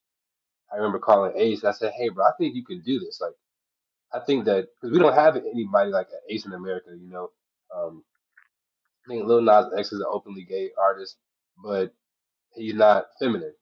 You know, and he's not doing you know, the, the feminine things. And I, I called Ace and I said, "Hey, bro, if they can do this in Brazil, to where two of their top ten artists are like this, and they're in the LGBTQ plus community, and they're still feminine, and they're they're themselves. We can do that with you in America without question. On top of no one's done it yet, so somebody has to do it. So you know, I think that's my favorite thing about Brazil is seeing how open they are with um, everything, including sexuality in their music, because I think that that's something that in America we're very you know, closed-minded and we try to keep a a, cap on it, but it gets in the way of good music. You know, these It artists, does. those two artists are actually my fifth and sixth choice artists to go to for the TV show. But I ended up having to go with. Um, actually, I didn't even know that this artist was an option that we are using. Uh, I met her through a producer, and it, it ended up working a lot, a lot better with her than any other artist. And my favorite thing about Brazil's music industry is how open they are to um, sexuality, because we're coming to a time where you don't know what anybody likes, you know, and who cares. So you hmm need representation across all boards. You know, the same way I feel about, you know, I love seeing more black people do things. We need more representation. Everybody needs representation in their own way. So, and there's room for all of it. There's room for black people, white people, straight people, gay people, people that don't like to eat pickles, people that don't like to, you know, brush their teeth in the morning, or whatever kind of person you are. There's somebody else out there just like you, and you can uh, be represented in any field. You know, so I love that part about Brazil a lot because no, no, I honestly don't think that anybody should be denied anything because of who they love or who they choose to have sex with. To me, that's so goofy. You It know, I always tell people I, I understand. Uh, I don't. say- I don't want to say I understand, but I understand racism. You know, I understand sexism. Looking at somebody and saying, "Oh, you're different on the outside. I don't want to be around you." That kind of makes sense. But when it came down to sexuality, and you say, "Hey, I, I'm like this on the inside," and you're rejected, that one uh, doesn't make sense to me. I remember um, a girl I was dating at the time. She uh, she was watching the show called Pose, so of course I had to watch it with her. And that show opened up my eyes so much to the things that people go through. It's something I never thought about. Being a black male, I always think about the black fight, you know. And honestly, I, I didn't know that you know people get rejected by their families. Even when Ace was on the TV show and there were two straight men on there, and he talked about how much he appreciated how welcoming they were because he didn't know how they would, would react because you know because of what he's gone through. He never knows what straight men will think of him or how they react to him because of how he is and he was talking about how appreciative of them that he was. He started to talk about his story, and so on the on the YouTube episode, there's a thumbnail of Ace crying. So I'm like, dang, why is nephew crying? Like, I want to see. I'm thinking of something funny because Ace is a comedian. So I'm like, why is he crying? So I go to watch the episode, and the moment he starts crying and talking about, you know, the rejection that he dealt with and all these things that really just came from him saying that he, he is who he is and that he loves this type of way and was rejected by you know his family and, and friends and had to kind of start all over that made me cry because I, I couldn't imagine like telling my mom like hey you know on the inside i feel purple and then i get kicked out the house because i feel purple on the inside like that's crazy to me and to see that people go through that was uh, really eye opening to you know the perception I, I had on things. Um, but you know, going back to Brazil, you know, I love that a lot about Brazil, eh, how open they are, not only with sexuality but with people. They've opened me with warm arms or warm heart and open arms. Um, they they don't really care too much about anything, but uh, just to see more openness and more. If I'm gonna be honest, more carefree. You know, I'm a Yeah. person. If my friends call me, "Hey Joe, should I do it?" You call me because you know that I'm going to tell you to do it. Whatever it is, do it. Go have fun. Be free. Like if you feel that you should do it, go do it, and deal with the consequences later. But at least you know that you're dealing with consequences of being yourself, not the consequences of you trying to you know fit into society.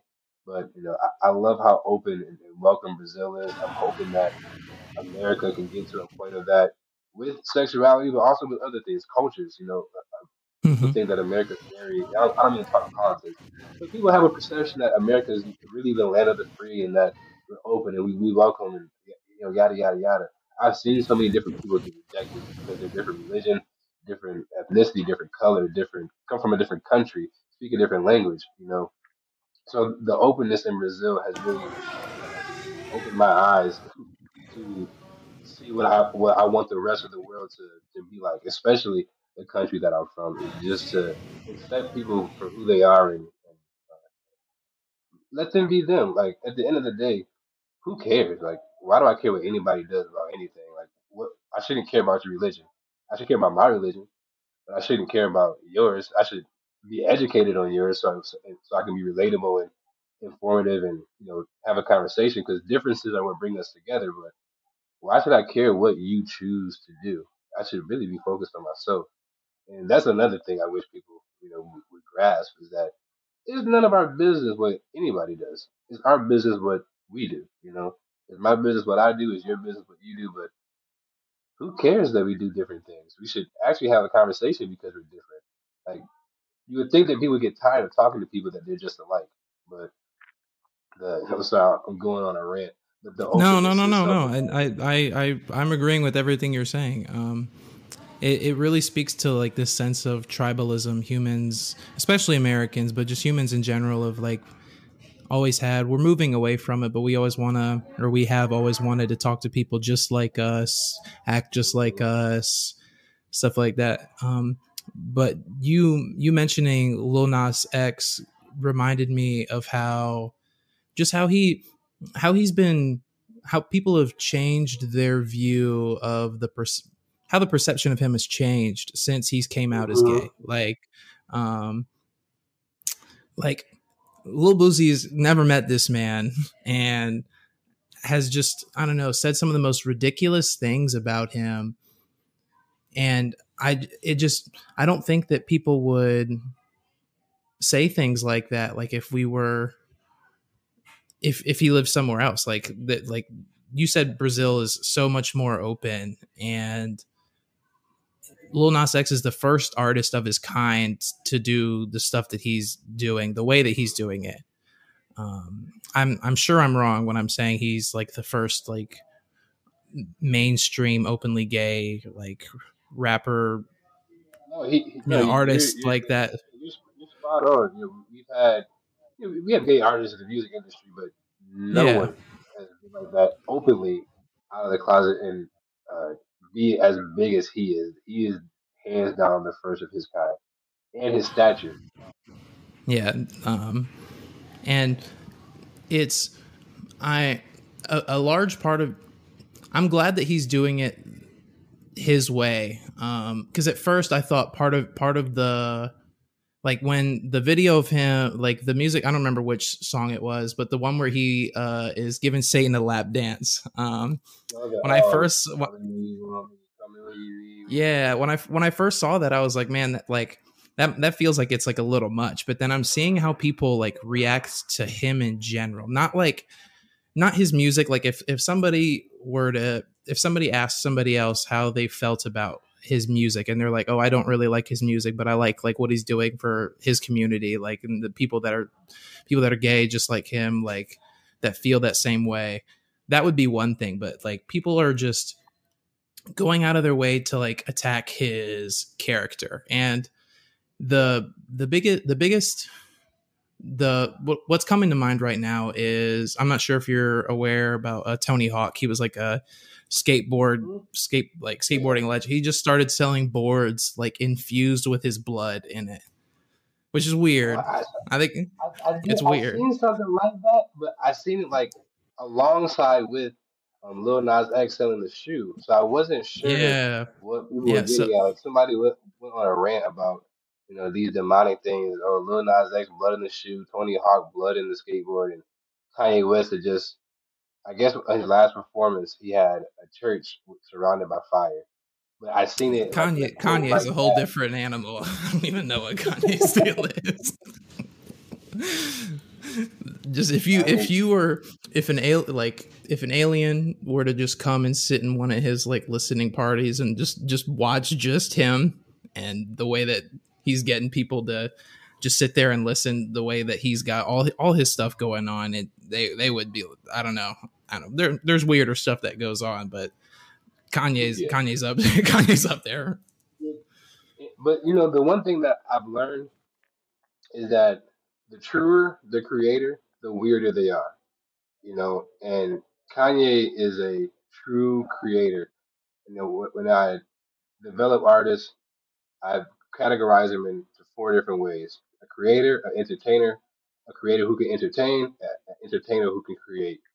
The creators are, you know, somebody like a Prince or you know somebody who is just very creative. Their music is Tyler the Creator is actually a better example because his music isn't always on the radio, but it's always good and it's always different. It's always changing. Then you have an entertainer who is, um, you know, like Cardi B. Cardi B isn't. Nah, I love Cardi, so I don't want to. I don't want to say this and it sound offensive, but Cardi isn't a musician. So she, she she's an entertainer. You know, I remember Mm-hmm.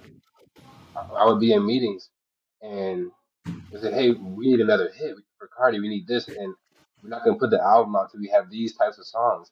And I couldn't understand why somebody who's as big as Cardi B, you know, won't release an album until she has these types of hit songs. And somebody said she she has to have them. She can't just put anything out. And I'm thinking, how come somebody as big as Cardi? Because in my mind, as an artist, you put out whatever you want to.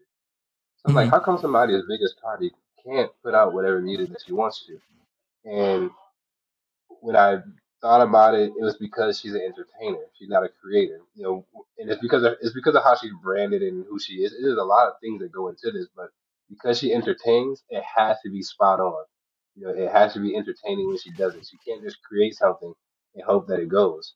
And then, you know, for your creators who entertain, that's when you get your superstars, your Beyonce's, Michael Jackson's, like people who changed the sonic and also entertained while they did it. And then you have you know, your entertainers who create, like J Lo. J Lo's an entertainer. She acts, she, she's a judge, but she also creates music, you know. And they all have their give and takes, you know, as to how they have to operate. But um, I learned that the the more creative the person, the more weirder they are. They're different, you know. I'm, I'm not gonna lie to you. You have to be able to be like weird to create, you know. And Kanye is honestly the the pinnacle of a creator who entertains, but more so just a creator. Because Kanye had a song that said "poopity scoop," and it went like number two on number one on iTunes. I thought that was the goofiest thing ever, but because Kanye West is a person that we look to, you know, due to what he's built up, we, look to Kanye to change the the sonic. You know, like the reason why I believe in the when Drake dissed Kanye in the Trippie Redd song, he says, "Ye, ye ain't changing shit." That's because we're always looking for Kanye to change the scope of music. If Kanye does this, years later, everybody else begins to do it. And I I think that um, being able to change sonics and, and being looked at as a creator, you have to be weird because you have to be doing something that everybody else isn't doing. So you can't be normal. You know, you have to be very out there. Um, and Kanye West is a very out there person. You know, Kanye West is actually a very uh, interesting person to study.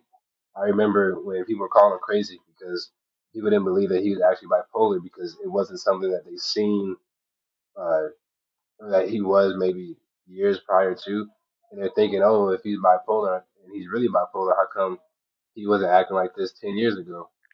And I learned because I work with a lot of engineers in the, in the music industry on their mental health. Recording engineers specifically out of the engineers get treated the worst. And they have a very specific personality type you know they're that they're, they're introverts.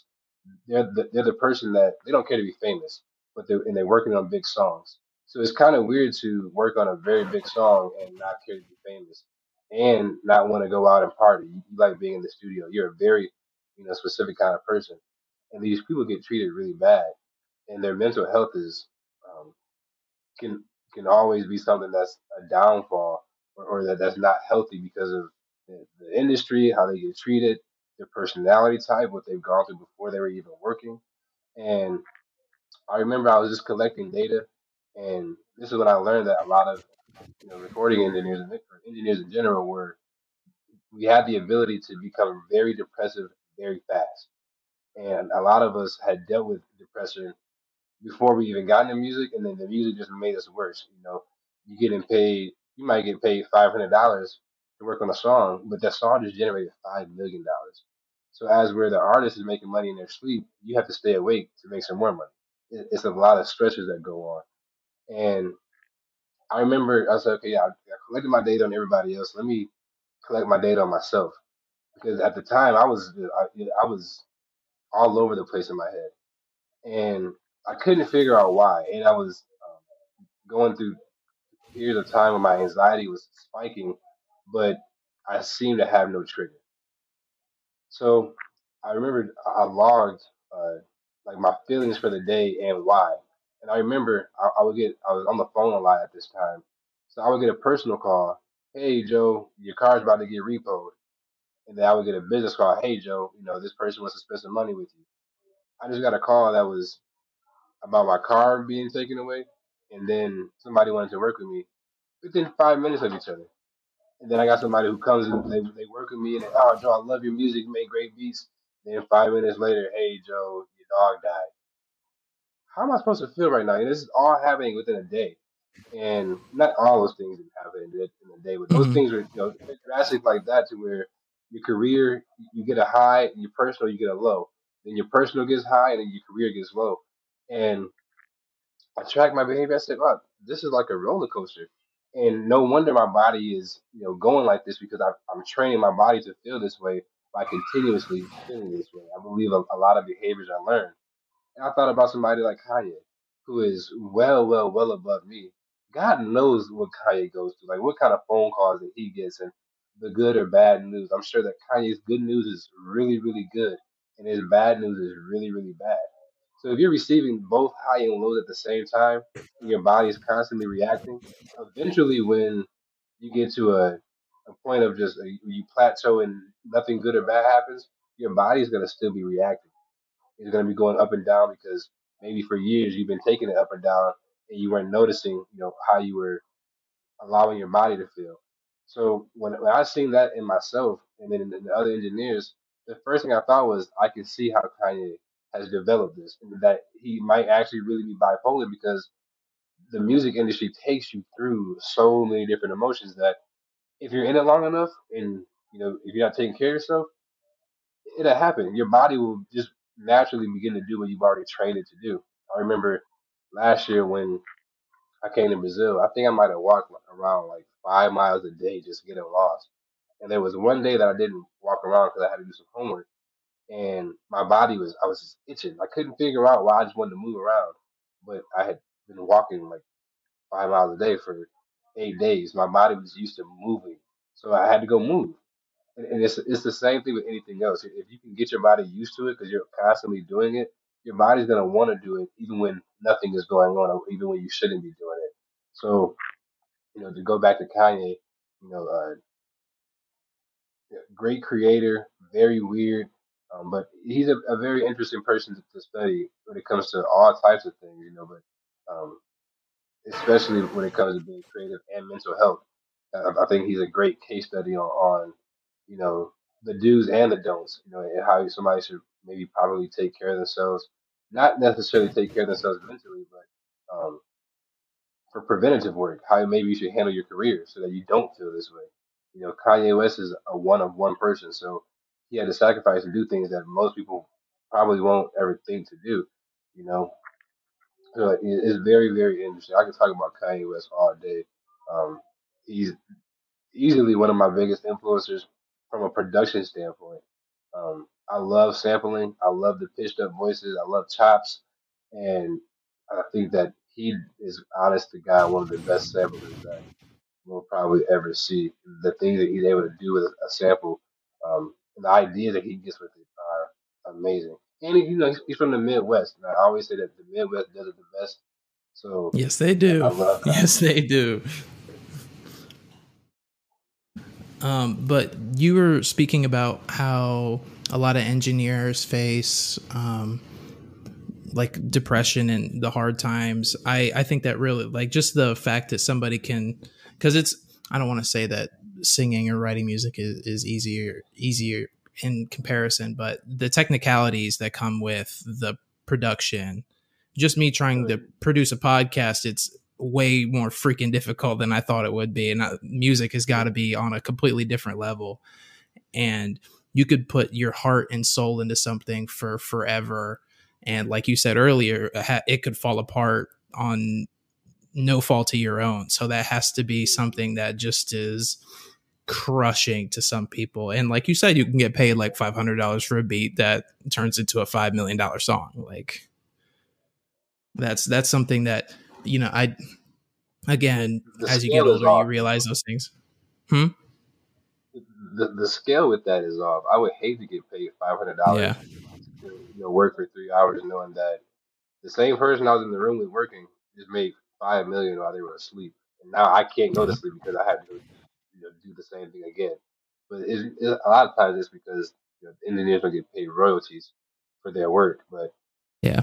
they, they definitely have a they go through it a lot, and they get treated bad. You know, there's videos online of engineers getting slapped and thrown food at them. Honestly, God, that was one of the things that made me not want to be somebody's engineer because I'm not somebody. I can't take that. I'm we're gonna have to fight, and there's no reason why I should be being creative and want to fight somebody because creation is very soft. You know, it makes you soft hearted. I hmm should be okay with being soft hearted and creative while I'm creating. I don't want to have to worry about somebody throwing food at me because they don't understand what I'm doing. You know, a lot of times it's not even the engineer's fault. It's that the artist can't comprehend. No, not to any fault of their own, but they, they think it's supposed to be like this, or they're impatient, or you know, hmm honestly, off of drugs. Like you never know why artists act the way they do. But uh, I don't think that engineers should. They shouldn't take any type of abuse, but they really shouldn't take any physical abuse. You know, but uh, Yeah. my heart goes out to engineers, but I cannot be one. I couldn't be somebody's engineer. I learned to record who I like working with, but I, I couldn't do it. Uh, it's, it's it's stressful. It's a very very stressful job. I'd rather take anybody else's stress than a recording engineer because you have to work fast, you have to be on point, and you have to take the BS that somebody throws at you. And if somebody gives me BS, I'm throwing it right back at them. I, I'm not hmm prepared to you know bite my tongue. That's not the person I am. So I you know I need to put myself in safer situations to not so I, I don't react negatively negatively to negativity, you know. But yeah, engineers and their mental health um, is is something that I, I hope I can help uh, bring more light to and, and help them get better. You know, because a lot of them don't know what they go through. They they know how they feel, but I grew up thinking that how I felt about things was normal, whether it was right, wrong, or indifferent. My perception was that if I went through this, it was normal until I learned that it, it either was or wasn't. So, you know, I- I'm hoping that we can have more conversations with engineers to bring the light, you know, what's going on so they can see, that whether or not what they have going on is normal or not normal and be able to um, really talk about it and address it. I learned that a lot of times it's just a conversation that actually makes everything a lot better. I held one event because we were supposed to do the event, then the, the pandemic hit. It was supposed to be an in-person event, and when we did it, we really couldn't figure out anything aside from Zoom. And I remember these engineers just being so thankful that people were we were having a conversation about it. It was, it was engineer to engineer. We had a, a life coach or a mental health coach come in and kind of give us some tips and tricks. But a lot of people were just happy to talk about it because we didn't know that other people went through these same things. No one wants to share a horror story. You know, we kind of keep those things to ourselves, so we don't know that you know our peer just went through something similar. We can share the same experience, but um, I'm hoping that it gets a lot better. I think that it will because of how we're recording music now. You know, a lot of times it's at home. Um, artists are recording themselves as well too, but uh, the, the the health of, of the engineers is crucial. Even you know, away from how they get treated, just I I couldn't work on a big song and uh, not be paid the same way, knowing that my job is the reason why you sound like this. So what a lot of people don't know is the reason why your favorite artist sounds that good. It's not because the artist sounds that good; their engineer is that good. You know, and it's the engineer that's creating the sonic. And I, I would probably be going through it if I, you know, worked on a very big song, but my role was downplayed or my paycheck wasn't as adequate that I'm the reason why it sounds like this the reason why that beat drop is right there or, you know, whatever the case is. Because, you know, I remember um, I was talking to uh, one, one, a really big engineer and he was, like, I wanted to be like him. I was like, man, this guy is great. I, I want to follow his steps. He, he was giving me great points and we were in a group chat. And I remember him saying that he said, you know, y'all think it's all fun to work with who I work with. He said, but y'all don't realize that I had if I get a call at four in the morning and he wants to record and he's in Paris, but I'm still in Atlanta, I have to go to Paris at four in the morning. And that sounds cool until you don't feel like getting on a plane. Like, why are you going to record somebody in Paris? You couldn't find another engineer there because you know you're at will to that artist. He said, you know, that that's not fun. It's fun the first couple of times because it looks cool, but eventually when you're working and you're tired, you want to go to sleep. You don't want to get on the plane because somebody wants to record. You know, that's goofy. And It's a that hard life. kind of got stuck. Yeah, it's, it's very tough. You know, everybody thinks because you're around the person that you're cool, and when in reality, you're probably getting whooped by work. And that was the point where I said, you know what? Let me step away from you know trying to be somebody's recording engineer because I want to still be able to do what I want to do. You know, I don't want somebody to call me and I'm at will to them. You know, hey Joe, I'm in I'm in Paris. You know, I need you to come record me. I don't want to go to Paris right now. It's cool. I might want to go vacation there, but I don't want to just fly out there to work and then have to work the same way I do, you know, for 12 hours, you know, 18 hours a day, sometimes 24, depending on how many artists are there, and, and still have to get the job done. You know, it can be very hectic, but you know, it can also be very rewarding. But I did learn that uh, being a recording engineer was not for me, even though I love recording, but I, I could not deal with that career type. It's way too stressful. Um, and I I believe in smart business. So, you know, when you're making music, music is a forever product. It makes money for forever. As long as somebody plays it, you're making money. I want a part of the forever money. I don't want to get paid hourly when I'm working on a, a product that creates constant income over and over and over again, you know? So I, I definitely pass on the engineering career, but I I want to help them out and I'm still learning on how to, but you know, sometimes it's just about asking them, hey, bro, how's your headspace going? Are you okay? A mental health check. Are you good? You know, I had an engineer call me one time. He was, he's a cat from New York. You know, in Atlanta, Atlanta from New York, they talk different. And uh, he's Jewish, and you know, he was he was a Jewish cat that was around a bunch of black people. So you know, Atlanta was home like filters, what you're home to him. Yeah, you know, and I remember he called me crying. He said, "Bro, I just got out of a session, and these rappers called me racist, and they called me white boy, and they, they call me all these names that I just don't understand. Like, why are they like this here? Because he know I was from Michigan, so that you know Atlanta was new to me too. And he said, "Bro, he said, bro, you know I'm not a racist." He said they call me racist because Pro Tools, the software that we use to record, crashed. He can't. You can't make Pro Tools crash. If it crashes, it crashed because it crashed. You can't purposely do that, you know. And that to have an engineer call me because that was messing with his head so bad, and he couldn't shake it off. On top of whatever else they were saying to him, I know that spoke volumes to you know the, the way they get treated. I had another engineer call me one time, and luckily I had worked with this artist before, so I was able to tell him like, hey, this artist is really just. Uh, I'm trying to think of a proper word to say. The artist is just not. He's not who you want to work with. He, he he runs his mouth too much. He's not a um. He's mean. That's a better way to put it. This artist is a mean artist, so you have to understand that he's just mean.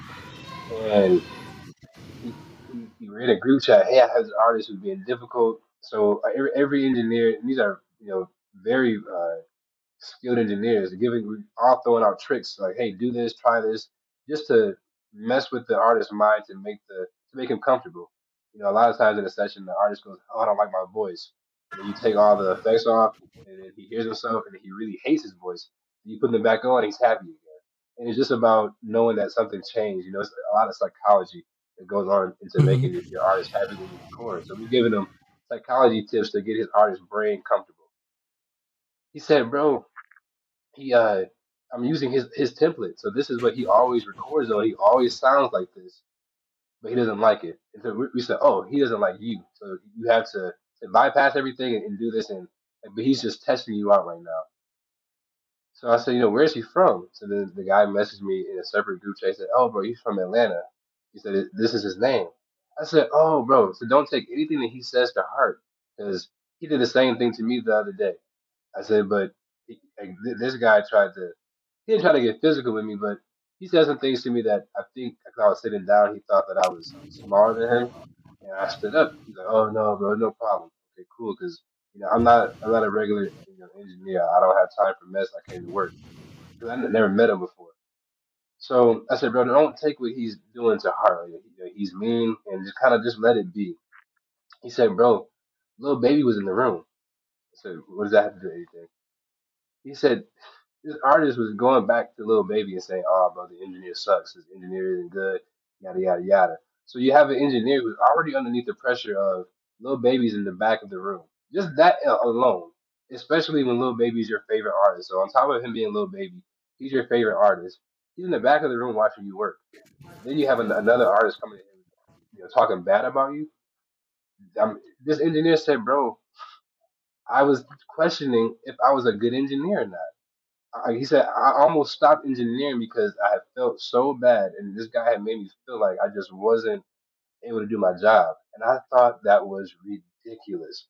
That made no sense to me that somebody can make somebody feel that bad and they're that good at their job to, like just it took a three hour session for this engineer to, to question eight years of work because one person made him feel bad. And I know I don't think that that's okay to uh, be you know be like that. You know, it is you have to check in on the engineers to make sure that they're good because they go through things like that almost every day sometimes, depending on how, how often they're working and who they're working with.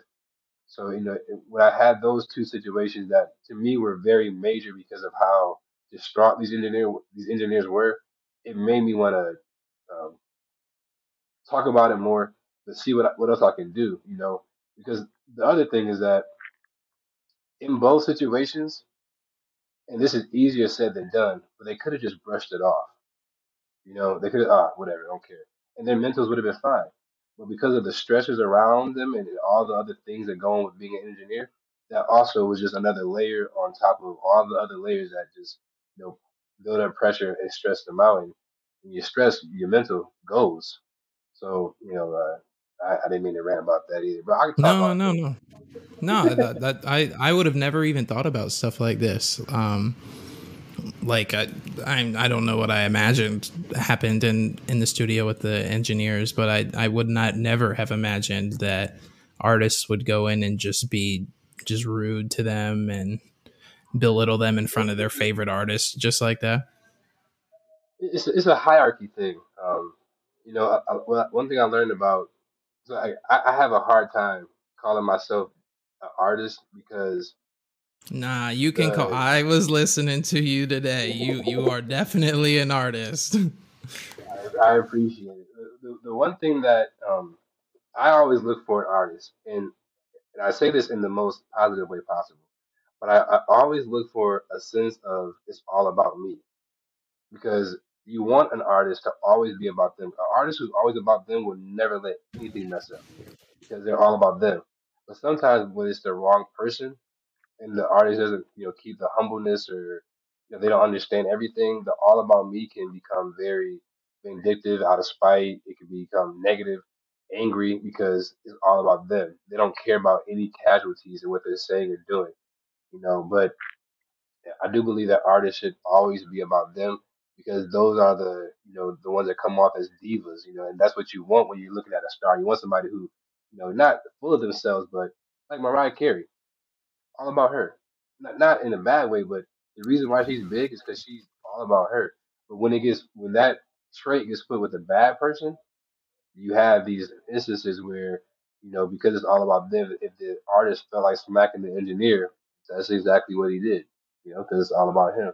So, you know, uh, yeah, I don't even know anymore. I'm just talking.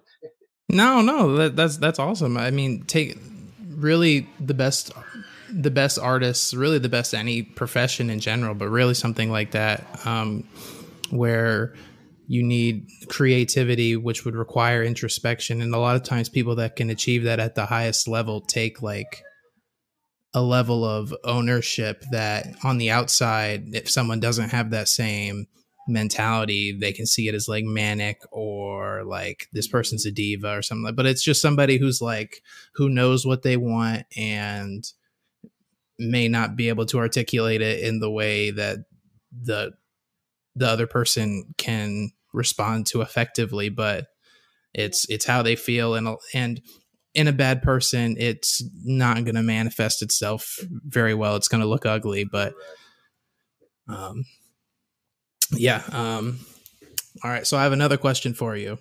This is way off track okay? What would you say your favorite conspiracy theory is? That you believe 100% like you put your tinfoil hat on it's three in the morning you're looking at the person next to you is like hey bro. Honestly all of them that's what i like to hear that that's what all i like to hear you um it's, it's, it's very interesting so the as a kid i watched every conspiracy theory video on youtube you know you know, I, I believe that we did 9/11. I believe that Elvis Presley is you know still alive. That we did not go to the moon. That COVID 19 was given to us through the the way like anything that I hear that sounds like a conspiracy. I try I try to make the most sense out of it, and I, I believe most of them. Um, because one thing that I learned a lot through the music industry was how much entertainment and politics come together to run the world. And entertainment is used to hide and, and to uh, to blind people. You know, it's, it's a show. So there's a show going on, you have no idea what's going on in the back with the politics. You know, so I believe all the conspiracies because a lot of the things that I, people said, "Oh, that's not true," I found out it was true. Mm-hmm. You know, so I'm like, uh, if this was, if I seen this on YouTube as a kid, and it's not as absurd and crazy as it sounds, and then I get here and I'm saying that it is true. The rest of them must be true too. You know, people aren't saying these things because they're crazy. They have some kind of information that um, that that they that they have. I think the one that I believe as a recent, I don't even know if I can call this a conspiracy. Now, I'm not a Trump supporter. I'm also not a Joe Biden supporter. I do think there's probable cause that Trump did win the election. I think there's a huge conspiracy um, against him because of how he operates, but also in favor of. Um, I don't even know who these people are, but if you look at, at the history of the U.S. from since Obama, so Obama's the president for eight years. When he wins, he picks his vice president candidate to be Joe Biden. Joe Biden's wife went on Oprah and said that he had the option. Now she wasn't supposed to say this because she got in a lot of trouble for telling this because for whatever reason we weren't supposed to know. But Joe Biden's wife goes on Oprah and says, "Oh yeah, Barack called Joe and said that he could either be the Secretary of State or he would be or he could be the Vice President. Whichever one he doesn't pick, Hillary Clinton gets." So to me, that's a you know that sounds like oh Joe had an option, and then you fast forward, you know, 12 years, now going on 13. Obama wins. Joe Biden is the vice president. Hillary Clinton the secretary of state. Then Obama's now out of office. Joe Biden doesn't run. Then Hillary runs. She loses. We have Trump. And then the first person that goes to run that they can think to put in after Trump is Joe Biden. So had um, had whoever runs this had it their way, they would have had Obama, Hillary, and then maybe Joe again, or they would have had Obama, Joe, Hillary. It would have been these same three people. So we have somebody who's the president right now that used to be the vice president. I think the only thing that got in the way of Joe Biden running was that he needed time to recover from some personal things. You know, I think he had lost his son. Being the vice president isn't an easy job. You know, so I couldn't imagine being in the White House for 16 years because eight years with Obama, Obama's entire face changed after 18 years. So 16 years of doing it, I don't know if I could do that one. You know, yeah, um, so I, I think that I think that there is a, a conspiracy for. I'm not even gonna say for good reason. I don't like Trump. The only thing I like about Trump is that he's honest. But I, I think there was a, a, some conspiracies to get him out of office because because of the kind of politician he wasn't. You know, um, every industry has its rules that we, we secretly abide by. You know, if you're a music producer, you do and you don't do this. That's just moral code. Same thing for politicians. There's a, a politician moral code. If you want to get this done, you do it like this. Trump did not abide by any of those moral codes. So even though you have Republicans that agreed with Trump, they didn't agree with how he went to do those things because it went against you know the Constitution or how they would normally do things as a politician. So I think they wanted him out because Trump showed us how powerful a president can be. You know when they're corrupted or, or when they're um, kind of just do whatever they want. And I think that really uh, a lot of people didn't like that. You know, um, I think the next conspiracy that I'll probably believe, I think Kamala is going to be the president next. I don't think that Joe will do eight years. I think he'll do four, and then we'll see her in the, in the office. You know, a big part of the reason why I don't like Joe Biden is because he. Um, now, I love the fact that we have a vice, a black woman as a vice president. I think that is a great figurehead, and I think that's great representation.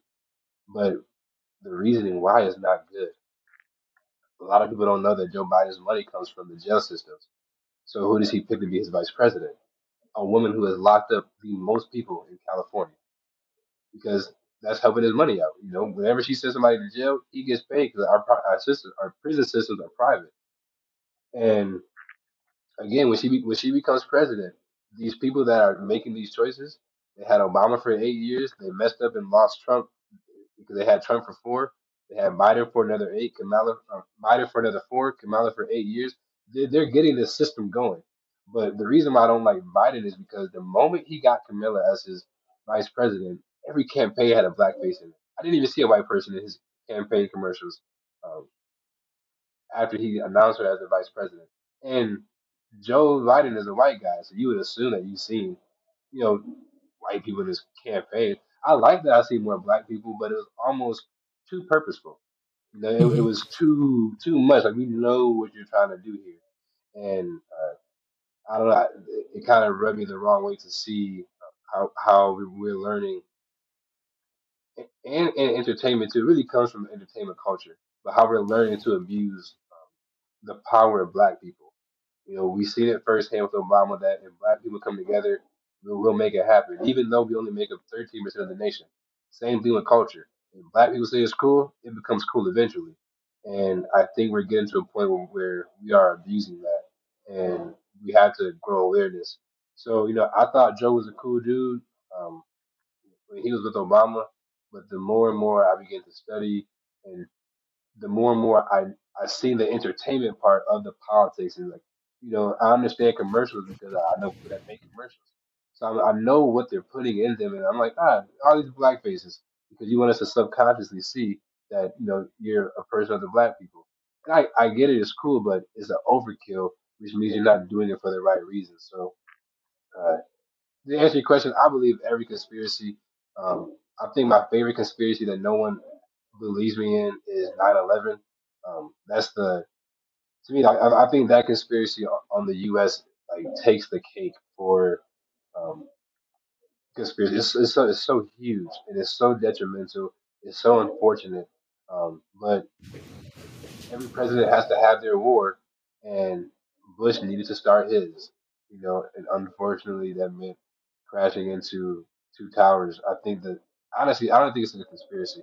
I think we did that to ourselves because Bush, Bush. Now, I love watching George Bush interact with people because he's kind of goofy, He's funny. and you know, like yeah, he's funny. He's funny to watch, but you know, I don't think he was our smartest president.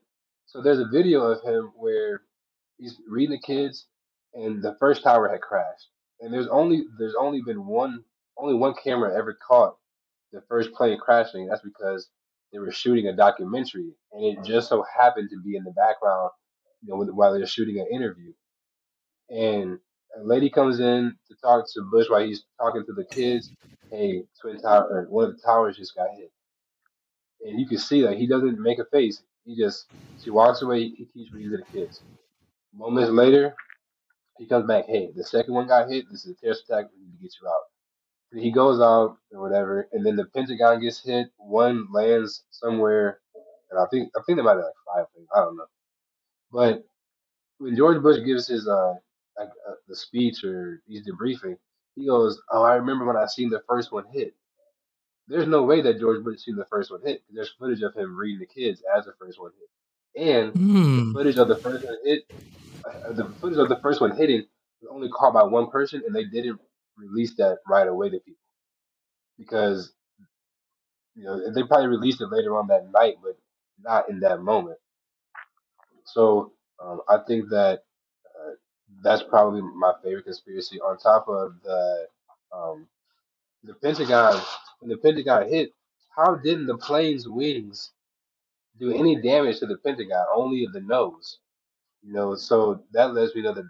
So a lot of people have a theory that there were timed bombs, and that when the plane hits, the bomb goes off, or that the bomb makes it look like it. So when you look at the Pentagon's damage, there was no damage that indicated a massive plane had just crashed into it. It's just a hole, but there's no wings. You know, like there's no indication that wings hit anything, which is crazy to me. And you know, the one that the one part that I think somebody can have a little bit of room to say, like, um, is that this is false. Is one of the videos on the planes crashing, the building uh, fire like a millisecond before the plane actually hits. But somebody can argue that that's just video lag per se, or, or whatever you want to call it. But uh, 9/11 was is definitely my the one that I just believe in because of how wrong it is. You know, Yeah. I do not believe that there there was that many, um, that there were that that much of a need for war to do that to your own people. But people hate when I say that. I think is real. Um, another conspiracy that this isn't even a conspiracy, but the the reason why we're at we've been at war with all these other countries, you know, people don't understand the World Bank. The World Bank was created in the U.S. by I think it was 13 congressmen or senators or they were something. They were lawmakers, and but they were all opposites. So like the Democrat, Republican, they at, at their day job of lawmaking, they go against each other. You know, they they argue all the time. They came together for retreat.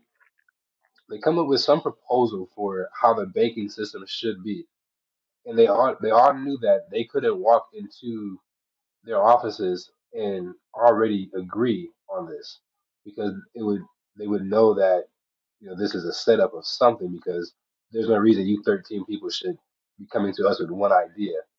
So they all came up with the idea. They gave it to, to one person to pitch, and the other twelve's job was to convince their people to vote for it.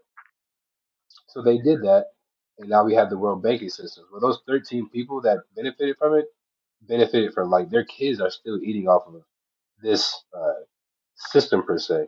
And when you, when you look at the countries that we're at war with, like Iran, Iran doesn't have a world bank. You know, so of course you got to think, why would we care how another country runs their country? Why, why, why are we going to go to war with you because you, you don't have a democratic system? Why, why does that matter to us so much?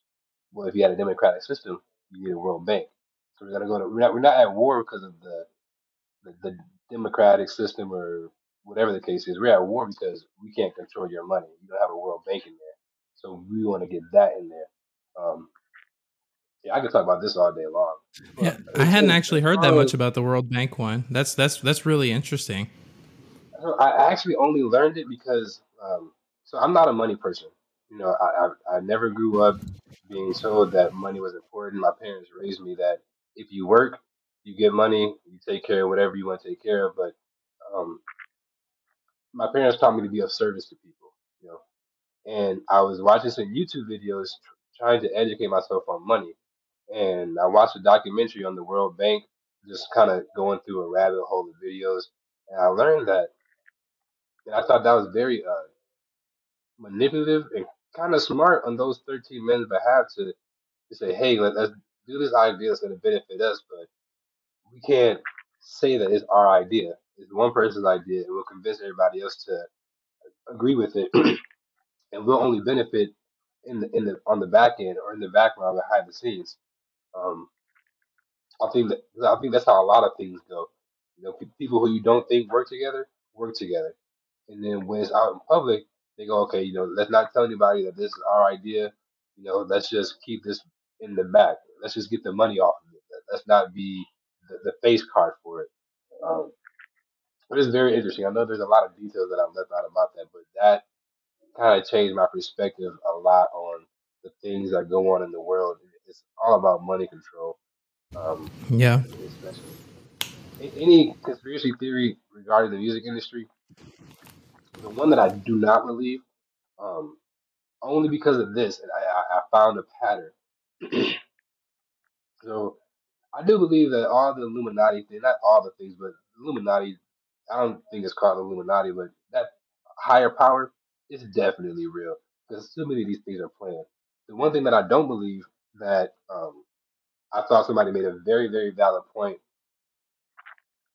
is you always see that we have it's always the black artist that's a part of the Illuminati, and, and we never see it too much about the white artist. And I think that's a those theories come out of um, trying to make black people look bad. Like you know, why do we think that Beyonce is the Illuminati and not Taylor Swift? Or you know, or why is it Beyonce, Jay Z, Kanye? Like I always see more black names than white names on this Illuminati list. And I remember talking to um, he's a doctor. He's a Freemason, actually. He's in a Freemason. I don't know if so. Some people think that being a Freemason is a cult. Some people call it a fraternity.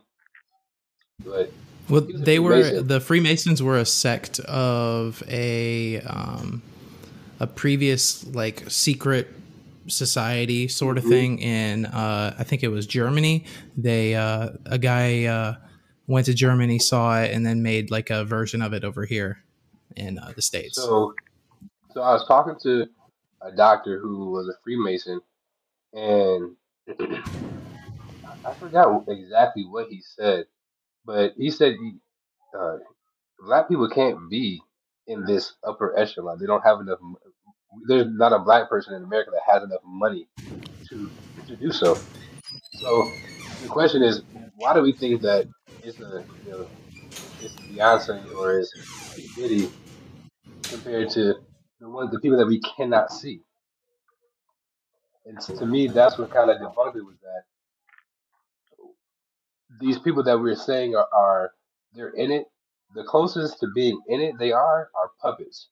That they run it, absolutely not. It's not even possible because the money inside of it goes so far back to um, money that unfortunately black people we're just now getting the opportunity to have.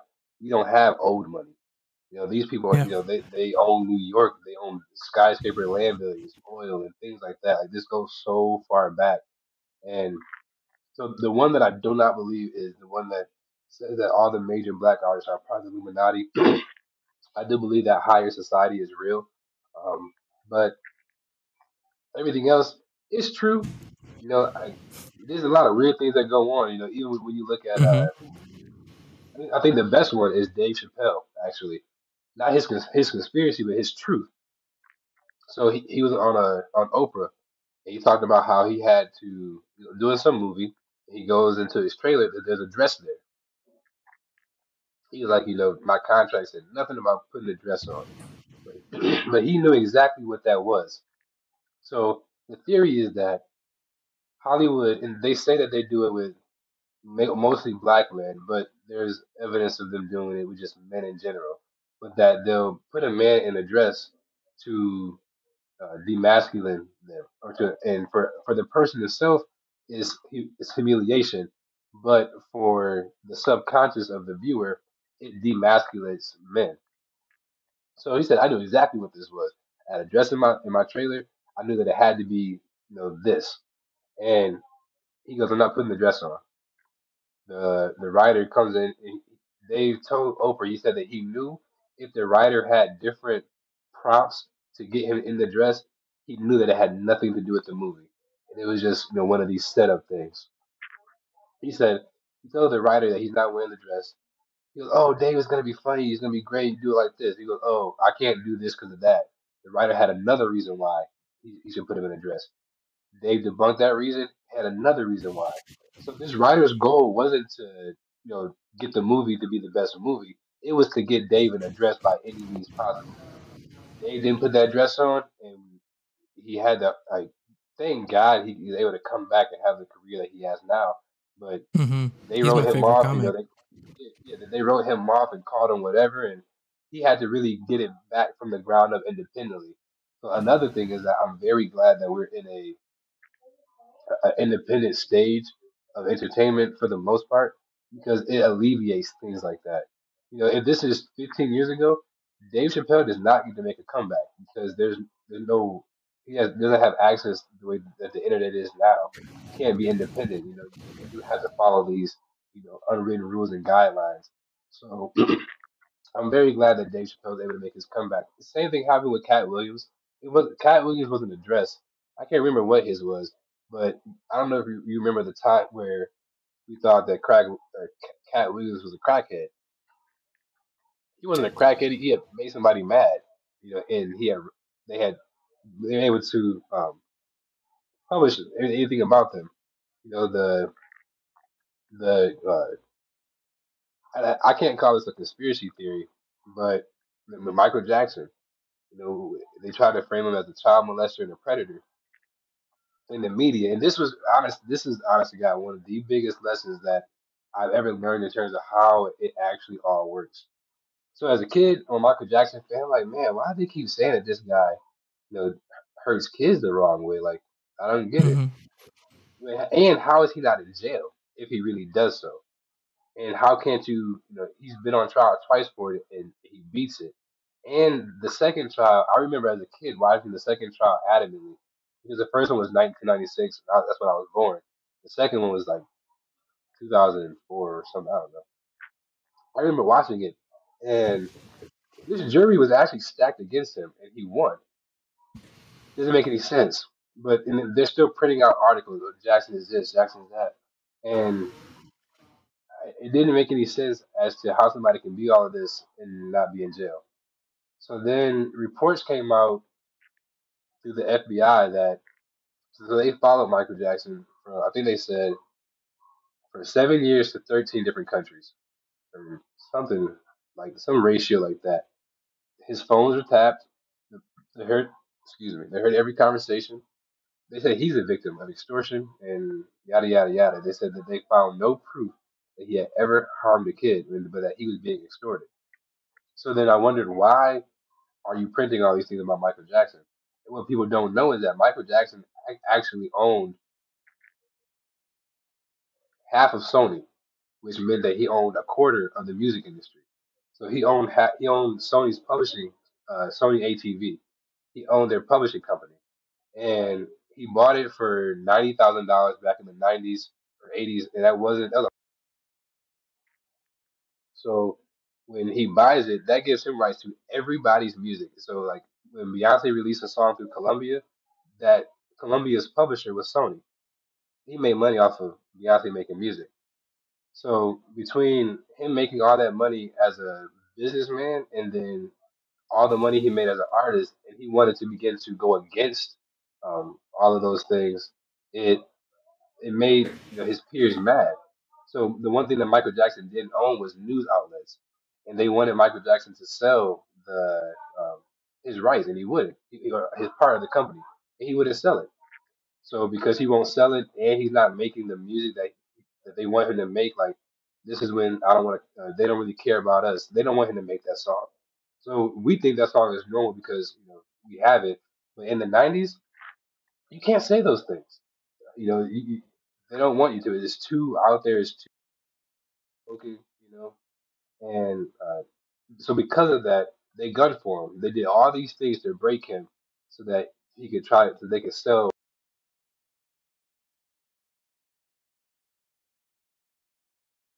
Oh, hey, you just cut out. I can't hear you.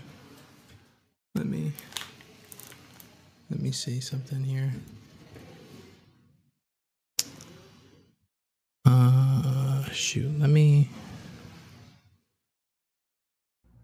Okay, sorry about that. We had a little bit of some technical issues, uh, but uh, we're back. We're back.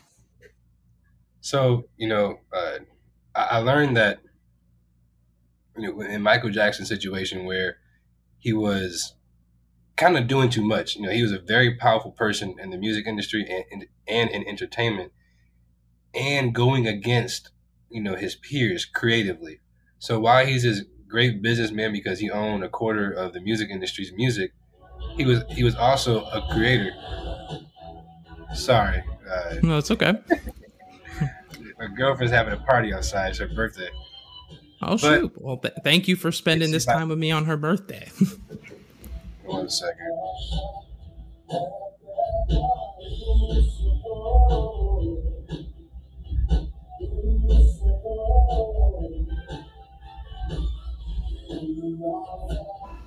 Uh, it's so interesting that they love uh, English music here. I don't think it's some. It's always it's something different. We all people always gravitate to something different. Like uh, you were saying earlier that uh, a lot of people listen to uh, English music over there. I I don't not a lot, but I listen to a little bit of some Spanish music, and I don't understand yeah. a word that they're saying, and I I love it. but you know, I'm sorry. To wrap up this Michael Jackson story, he owned a lot. He owned too much of the music industry, and creatively was going against what because when you're when you're, when you're a side artist sometimes you don't get an option in what you create, you know. So because he wanted to gain his own control of his own music and he controlled other people's music, it was too much. Um, he became too much of a threat. Same thing with Bill Cosby. You know, the, the reason why now I don't I actually don't have an opinion on whether or not I thought Bill Cosby did what he did or didn't do, but I think it's too much of a coincidence that he he goes to jail for these things, and we have somebody like Harvey Weinstein who has never seen jail, and there are there's proof of that Harvey Weinstein did what he did, but there's there's no coincidence that Bill Cosby, around the time that he could go into jail, he was trying to buy one of the major networks, one of the major TV networks, and it would have made him the only black owner of a major TV network, and mm. everybody around him told him don't do it because they know that like the moment you so there's this thing where you can't say no to money so because Bill Cosby had enough money, there's no there's no reason why they can't give it to him. So instead of not instead of not giving it to him, they make it so that he can't have it by putting him in jail, or they send him a lesson. You know, um, and the lesson is you know going to jail, like you know, don't try to do this. So there are reports that a lot of Bill Cosby's friends and colleagues, hey bro, you shouldn't do this. It could be very dangerous. He doesn't care. He tries to push forward with it, and he goes to jail for crimes that may or may not have happened 30 years ago. Same thing with, uh, with Chris Brown.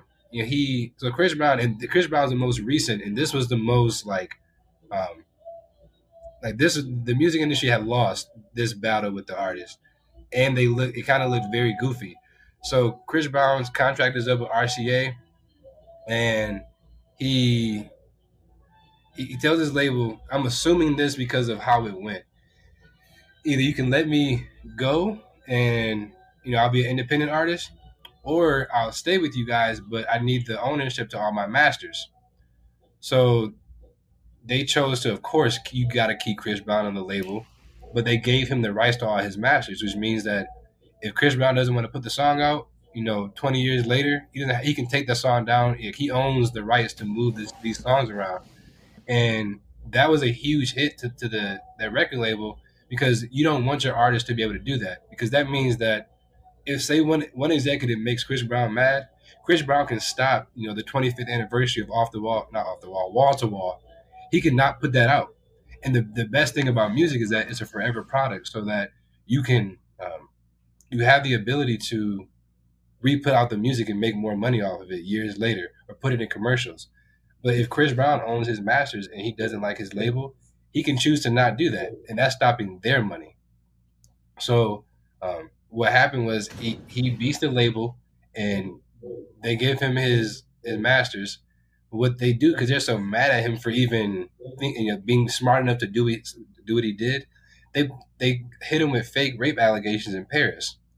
Now, where whoever set this up went wrong is that the girl that they said he raped came out the next day and said, "Yo, like I was with Chris this night, but we were never alone, and I don't really know him like that. He never touched me. Nothing ever happened. So he's out of jail within a week or three days or something. But uh, that was, uh, I don't think it's a coincidence that he there's a fake allegation that they that the girl drops herself because it's just not true. Right around the time where he wins his matches back from his record label. So you know, it's a a lot of things that go on um, that I believe I could talk about conspiracies all day long. But yeah, uh, I, I, love it, man. I, I love I love my conspiracy theories. It, it's a it's a lot that goes on, and, and, some of the things that, that I'm able to research, find out, hear firsthand from people, it makes me just believe that it's all true. You have to believe it. If somebody can say that this crazy thing happened and they can connect the dots, it's a very good possibility that you know it is like that. You know, because we live in a world that everything and everybody isn't good. There are actually more bad people than good people. So why would I believe that everything is just as sweet that that it comes across? Sometimes, if it's too good to be true, it's not true.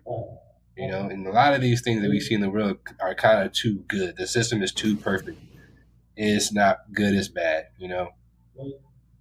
Yeah, it really speaks to how a lot of times uh, we'll take these people and we'll idealize them and build them up to be this, you know, whatever they get built up to be. And then the first opportunity we get, we love to tear them down. Um, yeah whether the reason is justifiable or not. Um, man, I, I could, you know, this this isn't a conspiracy theory, but it's actually not. I don't.